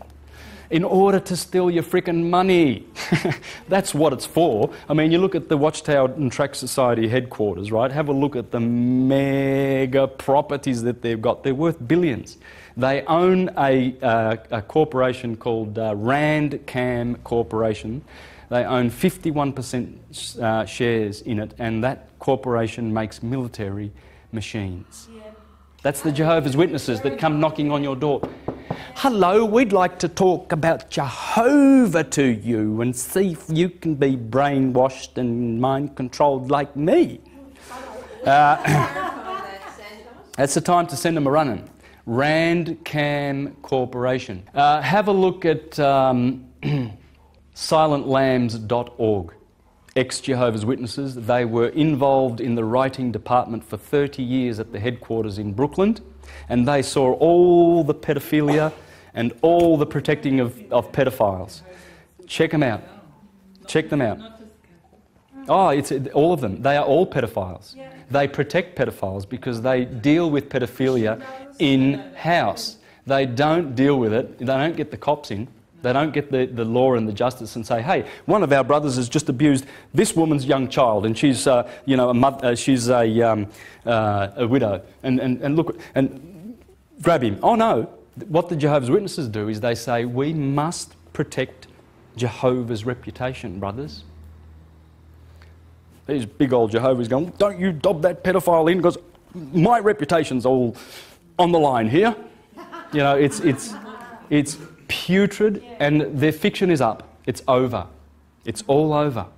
For those poor churchgoers that are still going to church to be sodomized and abused and, and deceived, um, what the outcome for them is, I don't know. But they will, never, they will never receive the glorious ascension. Because in order to ascend, uh, people must acknowledge the Christ within.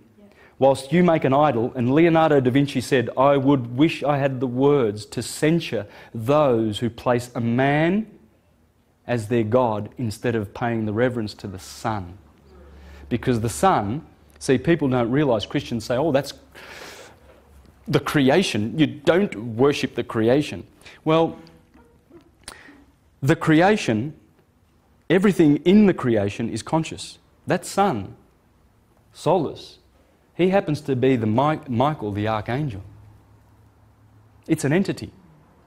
The Neoplatonists taught that. There are three suns. Paracelsus taught that. There's the spiritual sun, the psychic sun, and the physical sun. And as the sun's rays come to us, there's, there's certain rays that we can't see. We only see that little thin spectrum.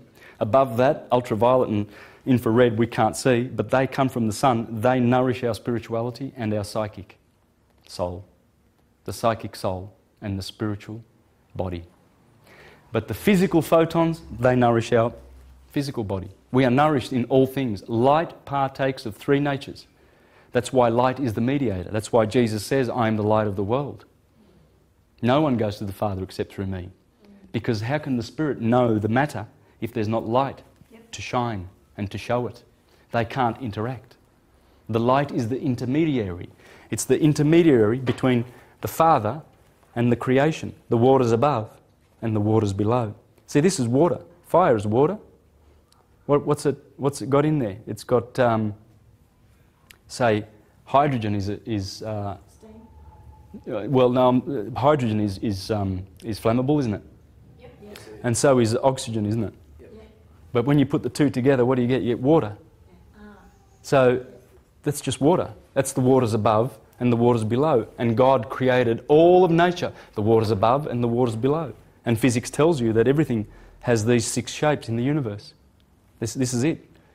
Ad- atoms can be a hexa- hexahedron, icosahedron, octahedron, tetrahedron, dodecahedron.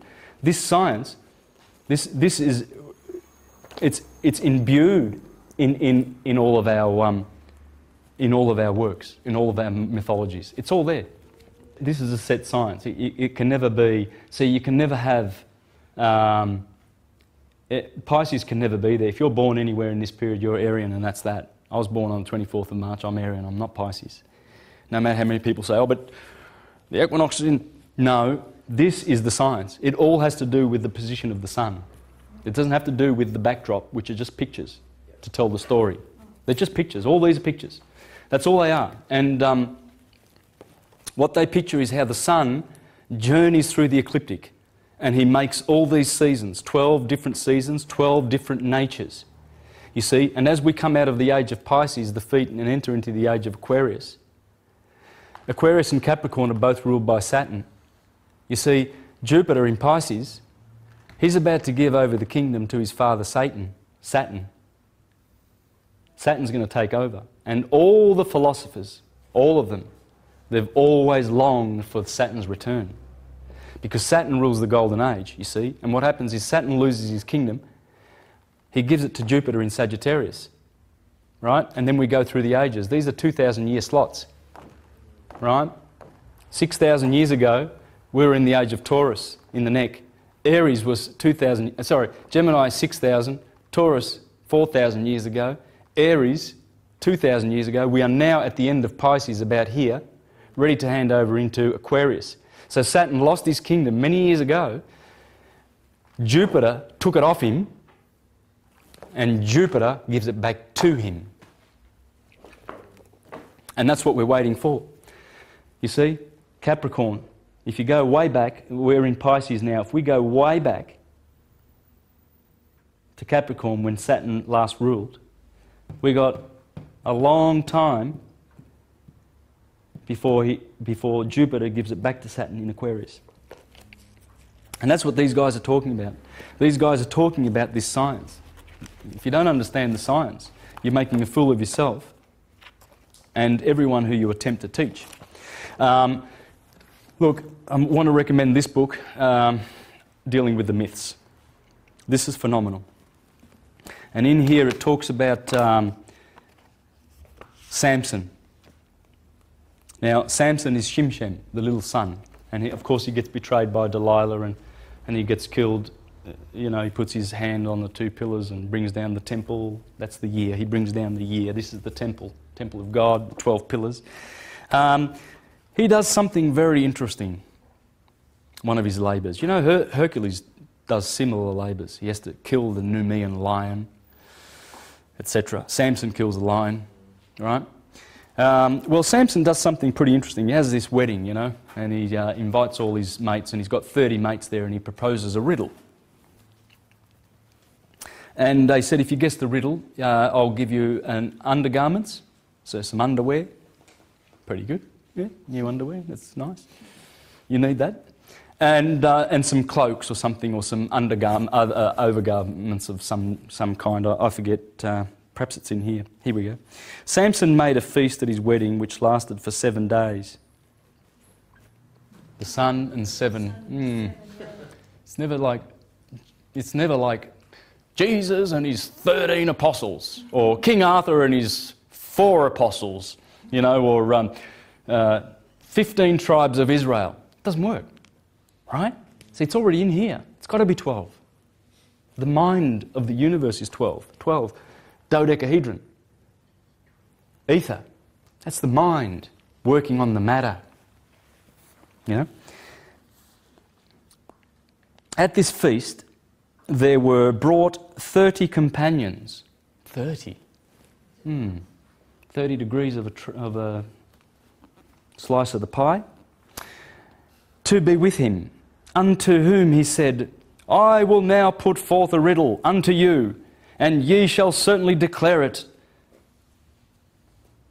And if ye shall certainly declare it, me, within the seven days of the feast, and I find it out, then I will give you 30 sheets and 30 changes of garments. Boy, generous. But if ye cannot declare it me, then shall ye give me 30 sheets and 30 changes of garments. And they said unto him, Put forth the riddle, that we may hear it. And he answered them, Out of the eater came forth meat, and out of the strong came forth sweetness. That's when he ate honey out of the carcass of the lion, right? Well, interesting what he does because they guessed the riddle. Dang, he's going to have to go and get some underwear. So, what does he do? Well, what, what does a man of God do? I mean, this, this is the judge of Israel now. Right? We're talking respectable here. Okay, he's a decent, God fearing judge, right? So, what does he do? Oh, Samson was then at a loss to know where to get the 30 sheets. I don't know, I, I tend to go down to Target, and, you know, there's, there's always a shop when I you know, walk around a bit. Doesn't take long. I mean, I'm sure he could have taken a month off to find a shop, right? Because he's a man of God. But this is what he does. Uh, and he goes down to Ashkelon at the 30. But the Spirit of the Lord came upon him. Must be a beautiful spirit. And took their spoil. Ah, sorry. And the, the Spirit of the Lord came upon him, and he went down to Ashkelon and slew 30 of them and took their spoil and gave change of garments unto them which expounded the riddle. So he whacked off with their knickers and. Yeah. So he grabs a club and he goes down to Ashkelon and he finds himself 30 blokes and he says, Right, line up. Yep, line up. Donk, donk, donk, donk, donk. pulls off their smelly underwear, right? I hope he washed them. Grabs their sheets and takes them back to his buddy and, buddies and says, uh, You know, as a God fearing man, I've honoured my, uh, my promise. There you go. There's your undies. And off he goes. That's what a man of God would do, wouldn't it? So, so this is what's going on. We're teaching our children uh, these literal stories and horrifying them rather than teaching them that here's the story, it's not literal, but we're going to teach you the beautiful lesson of it once you master the stories. Then we'll give you. Well, well, it's all about the son conquering, the son, uh, Samson, conquering the, the various signs. You see, when he goes through, kills the lion, that's when he's going through Leo, the sign of Leo. That's in the summer, and the lion is being slaughtered. The blood of the lamb is when the sun goes through March, April and slays the lamb. And the lamb is given on behalf of the children of Israel and the scapegoat of Israel. These are all symbolisms of the stars, you see, because as those stars come back round all the time, there are seven heroes in here, okay? Hercules is in there, Ophiuchus is in there, Orion in Taurus, Perseus in Aries, uh, Cepheus in Pisces, they're all there. And as they come around every year, you watch for them. Ah, Perseus has come up. Right. That means something. And he's always the coming one. That's why Jesus is Jesus, the coming one. Because as those heroes come up, they all represent Jesus. They all represent the Son, because the Son is in them. It's the Son in them that makes them the hero. So when the Son is in Scorpio, he's glorifying the Ophiuchus and Hercules and, and that is Hercules in, in the sky. And he's performing his 12 labours. The sun is always labouring as it goes around. It goes through and slays the beasts that it lives with and, and, and revitalises the seasons for us. And it's going through our bodies. Um, there's a situation where Samson grabs 300 foxes. That's one of his exploits. And uh, he puts torches on their tail right? And he lights those torches and he sends them through the field. Well, I wonder what that's all about. Okay, this is interesting, isn't it? Um, and by the way, there was another judge, Gideon, who had uh, 300 men. 300 and 300.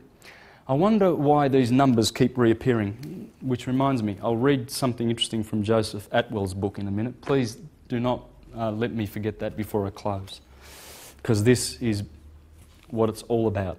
Joseph Atwill, please find out who invented, who invented the literal story of Jesus Christ. Flavius Josephus. Did I say Flavius? Uh, would that be the Flavian dynasty uh, of uh, Vespasian, Titus, and Domitian? Yes, it would be. They are the people who destroyed Jerusalem, the Caesars of Rome. They created the Jesus story to enslave Rome and all of her conquests. Now, you can see Joseph Atwill speak on YouTube. He's, he's, he's doing, there's lots of his beautiful presentations where he explains, and he's called this book The Roman Conspiracy to Invent Jesus. It is an invention, pure and sweet. The bigger you tell them, the bigger they fall. And people will kill you if you deny it. They will thrust a sickle in your eye the moment you deny their historical Jesus. Why? because of that composite guilt. Um, uh, you, you, could say the consciousness of the fact that he didn't exist coming through history, coming through. It's a lie. That's why they kill you for it. They, they will kill you for it because they've got no other defense. They can't say, oh, here's the proof. Hang on. Let's go to Tacitus and Suetonius and Josephus and all of these, Pliny the Younger, and give you real, real proof. Let's go and do that, shall we? Yeah. So, so what they've done is, rather than giving any proof, they kill you. That's, that's a pretty. Samson did it. Why not? anyway, I'll just finish this real quickly and then I'll finish that and uh, away we go. What happens with those foxes? Why is uh, Samson lighting up? I mean, would you really do that? Would you really do that? It, it, it, it's not really physically going to happen, is it? I mean, Samson's not really going to go and kill 30 blokes for their undies. It's not going to happen. Please, Sunday school. Uh, yeah, good strong pair of bonds. Yeah. Surely he could have gone down to the lingerie shop and bought some undies for his friends. Exactly, that's right. It's as simple as that. God, no, they, I think we need to uh, perhaps show um, the life of Brian in, Brian in all the 30,000 registered uh, corporate Christian churches. Would have you found it funny when you were Jehovah? Uh, no, I found it funny. I was pretty open minded, yeah. I did a lot of this study way back then, you know. I, read, I was reading uh, Immanuel Velikovsky, uh, Alexander Hislop, The Two Babylons. I was going to share something out of this. The Two Babylons by Alexander Hislop. This is an amazing volume. He wrote this in uh, 1913, proving that Rome is Babylon Mark II. Anyway, look, I I won't read it, but the fire is, has to do with the, um, the frost of April and Sirius coming up and everything, and they, they always used to burn, burn the fields, and foxes were a part of it. It's just a, you know, it's just a solar, lunar, religious um, tradition. That's what Samson, with his 30, uh, 300 foxes, is all about. Now, in this book, I really do recommend you, you read that if you want to. Um, another good book that I want to recommend is Christian Astrology. This is from the 15th century, people. Uh, William Lilly. William Lilly. Christian. Christian astrology. Christian astrology. Chiasmus. This is a good book. It talks about the form history in the Bible. It's talking about um, folklore that was, that was developed over many, many millennia, which, which created forms and shapes of literary works. So, and, and they are called form history. You see, he says form history is a pre- preliminary study to history of literature. Its centre of interest is not the Gospels as they now exist, but in the small component parts of the Gospels. These parts have had a long history before they were entered and written Gospels. The writer of the Gospel does not create these sections. They are the work of the folk spirit operating unconsciously in shaping in the shaping of the material. The writer merely acts as an editor. You see, what they're doing is they're, um, they're, they're giving transvaluative uh, force to those folklore traditions. That's what they're doing, and it's in the Bible. He calls it form history. And, he, and it's beautiful because he goes to point out how the synoptic gospels all have Jesus at uh, birth, at the age of 12, and at the age of 30. They all seem to have amnesia about what happened in between. And he's showing and he's proving by such means that the Gospels are just form history. They're just doing this. You know, it's all part of locked into the solar, the solar cycle. You know, and he proves it. That's chiasmus. But uh, Caesar's Messiah is a beauty. Um, he shows how Joseph and uh, Esther and Mordecai had so many similarities. How about this? Joseph rises to high position in the Egyptian government through his beauty and wisdom. Esther rises to a high position in the Persian government through her beauty and wisdom. Joseph's good deed, interpreting the butler's dream, is forgotten for a long time. Mordecai's good deed, saving the king's life, is forgotten for a long time. Is there some form history going on here, or is, am I just imagining things? Hmm. A character refuses to listen. Character refuses to listen. She spoke of Joseph every day, but he refused to listen. They told him every day, but he refused to listen. Remember the, um, the guys that were in jail uh, sorry, the, um, the, guy, the baker and the, um, the wine bearer were granted back their positions in, in Pharaoh's court. You see, they were in jail with Joseph. He had the dreams and everything. And he said to them, When you get out, you make sure you remind the king of my injustice, that I was put in prison for an injustice. Um, and that's what, that's what it's saying there. They told him every day, but he refused to listen. Or, sorry, they spoke of Joseph every day, but they refused to listen. The same with Esther. Pharaoh's chief servant is hanged. The king's chief servant is hanged. Remember, Mordecai got the chief's Haggai, I think his name was. Uh, no, what was his name? Uh, Haggai, I think it was. Um, Hamar, sorry. Hamar was the, the, um, the guy that was hanged. I might be wrong. Uh, Joseph reveals his identity to Pharaoh after a feast. Esther reveals her identity to the king after a feast. These are major stories in the Bible, man. You know, this, the, Esther, the story of Esther in, in Medo Persia, in the kingdom where she, where she married the king of, because of her beauty, and Joseph, how he became the second in charge of Egypt because of his beauty. It's all form history. Um, for instance, the Old Testament and the New, Jesus and Moses. Any similarity? Uh, Pharaoh wanted to kill the little children, Herod wanted to kill the little children. Moses fled from Egypt, Jesus had to flee to Egypt and, and come back again from Egypt. Um, Joseph takes the name of Israel. Uh, sorry, Joseph takes, sorry, um, takes old Israel down to Egypt. Uh, Joseph, the father of Jesus, brings new Israel down to Egypt. Right? So Joseph, the father of Jesus, brings him down to Egypt. Right? But um, Joseph takes his father Israel down to Egypt. This is just, this is just staggering, and it goes on and on and on. Um, Pharaoh massacres boys, Herod massacres boys. All the men are dead. Remember that in, uh, an angel came to Joseph and said, You can go back to Jerusalem because all the men that wanted to kill your son, they are dead. And so re- they returned to Nazareth, right? Well, that's the same with Moses. They said, Oh, the Pharaoh that was persecuting and wanted to kill you, he's dead. You can go back to Egypt. Man, you know, kids can pick this up. It's childish. It's ridiculous. It's absolutely ridiculous. Um, passing through the water, Jesus' baptism. Tempted by bread, tempted by bread. Remember, Moses was tempted by bread in, in the wilderness. Do not tempt God. Jesus also said, Do not tempt God. Worship only God. Jesus also said, Worship only God. And the list goes on and on and on. On and on.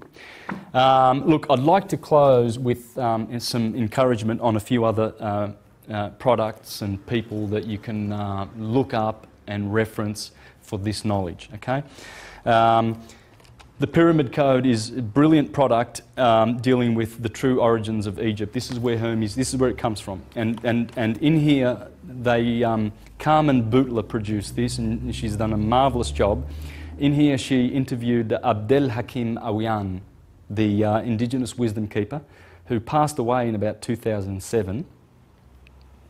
And he was the, um, the, the man, he's the man that's interviewed in here. So you can grab his wisdom. He was one of the, you know, the, one, the, the people who are directly in line, uh, uh, uh, an origine from, from Egypt.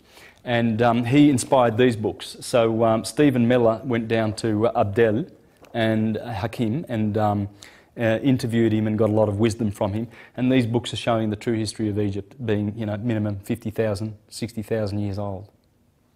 Pre-dynastic.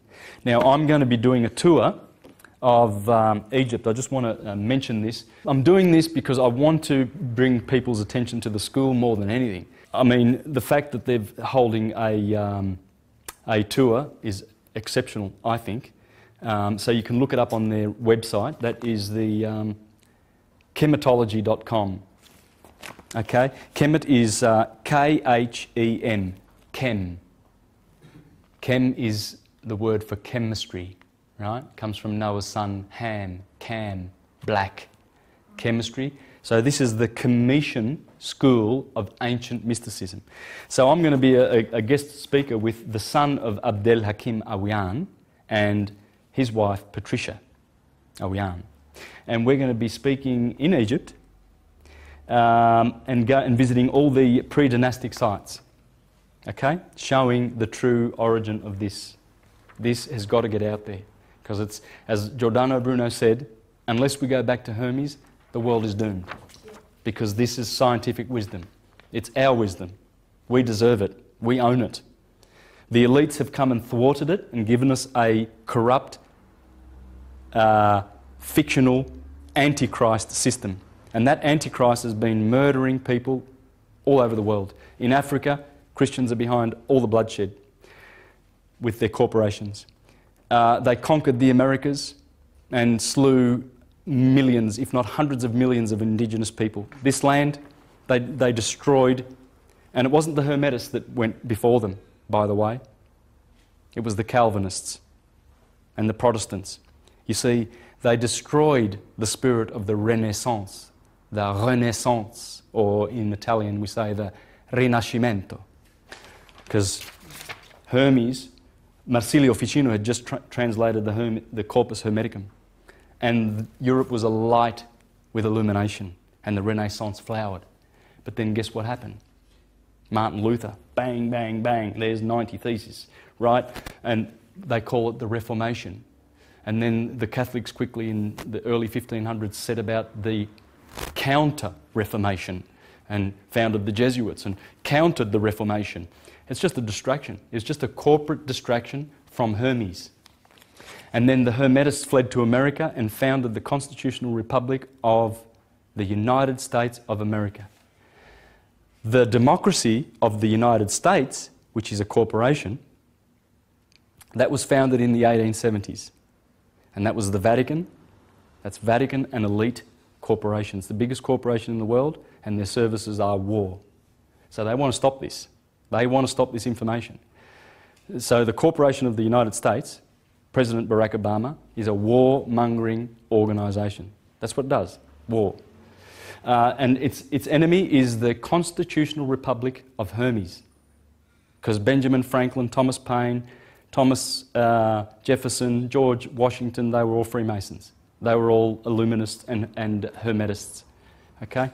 So please understand the difference, and that's what we're going to be talking about. We're going to be actually discussing um, the pre dynastic history of Egypt, and the truth is coming out. That, this truth is coming out.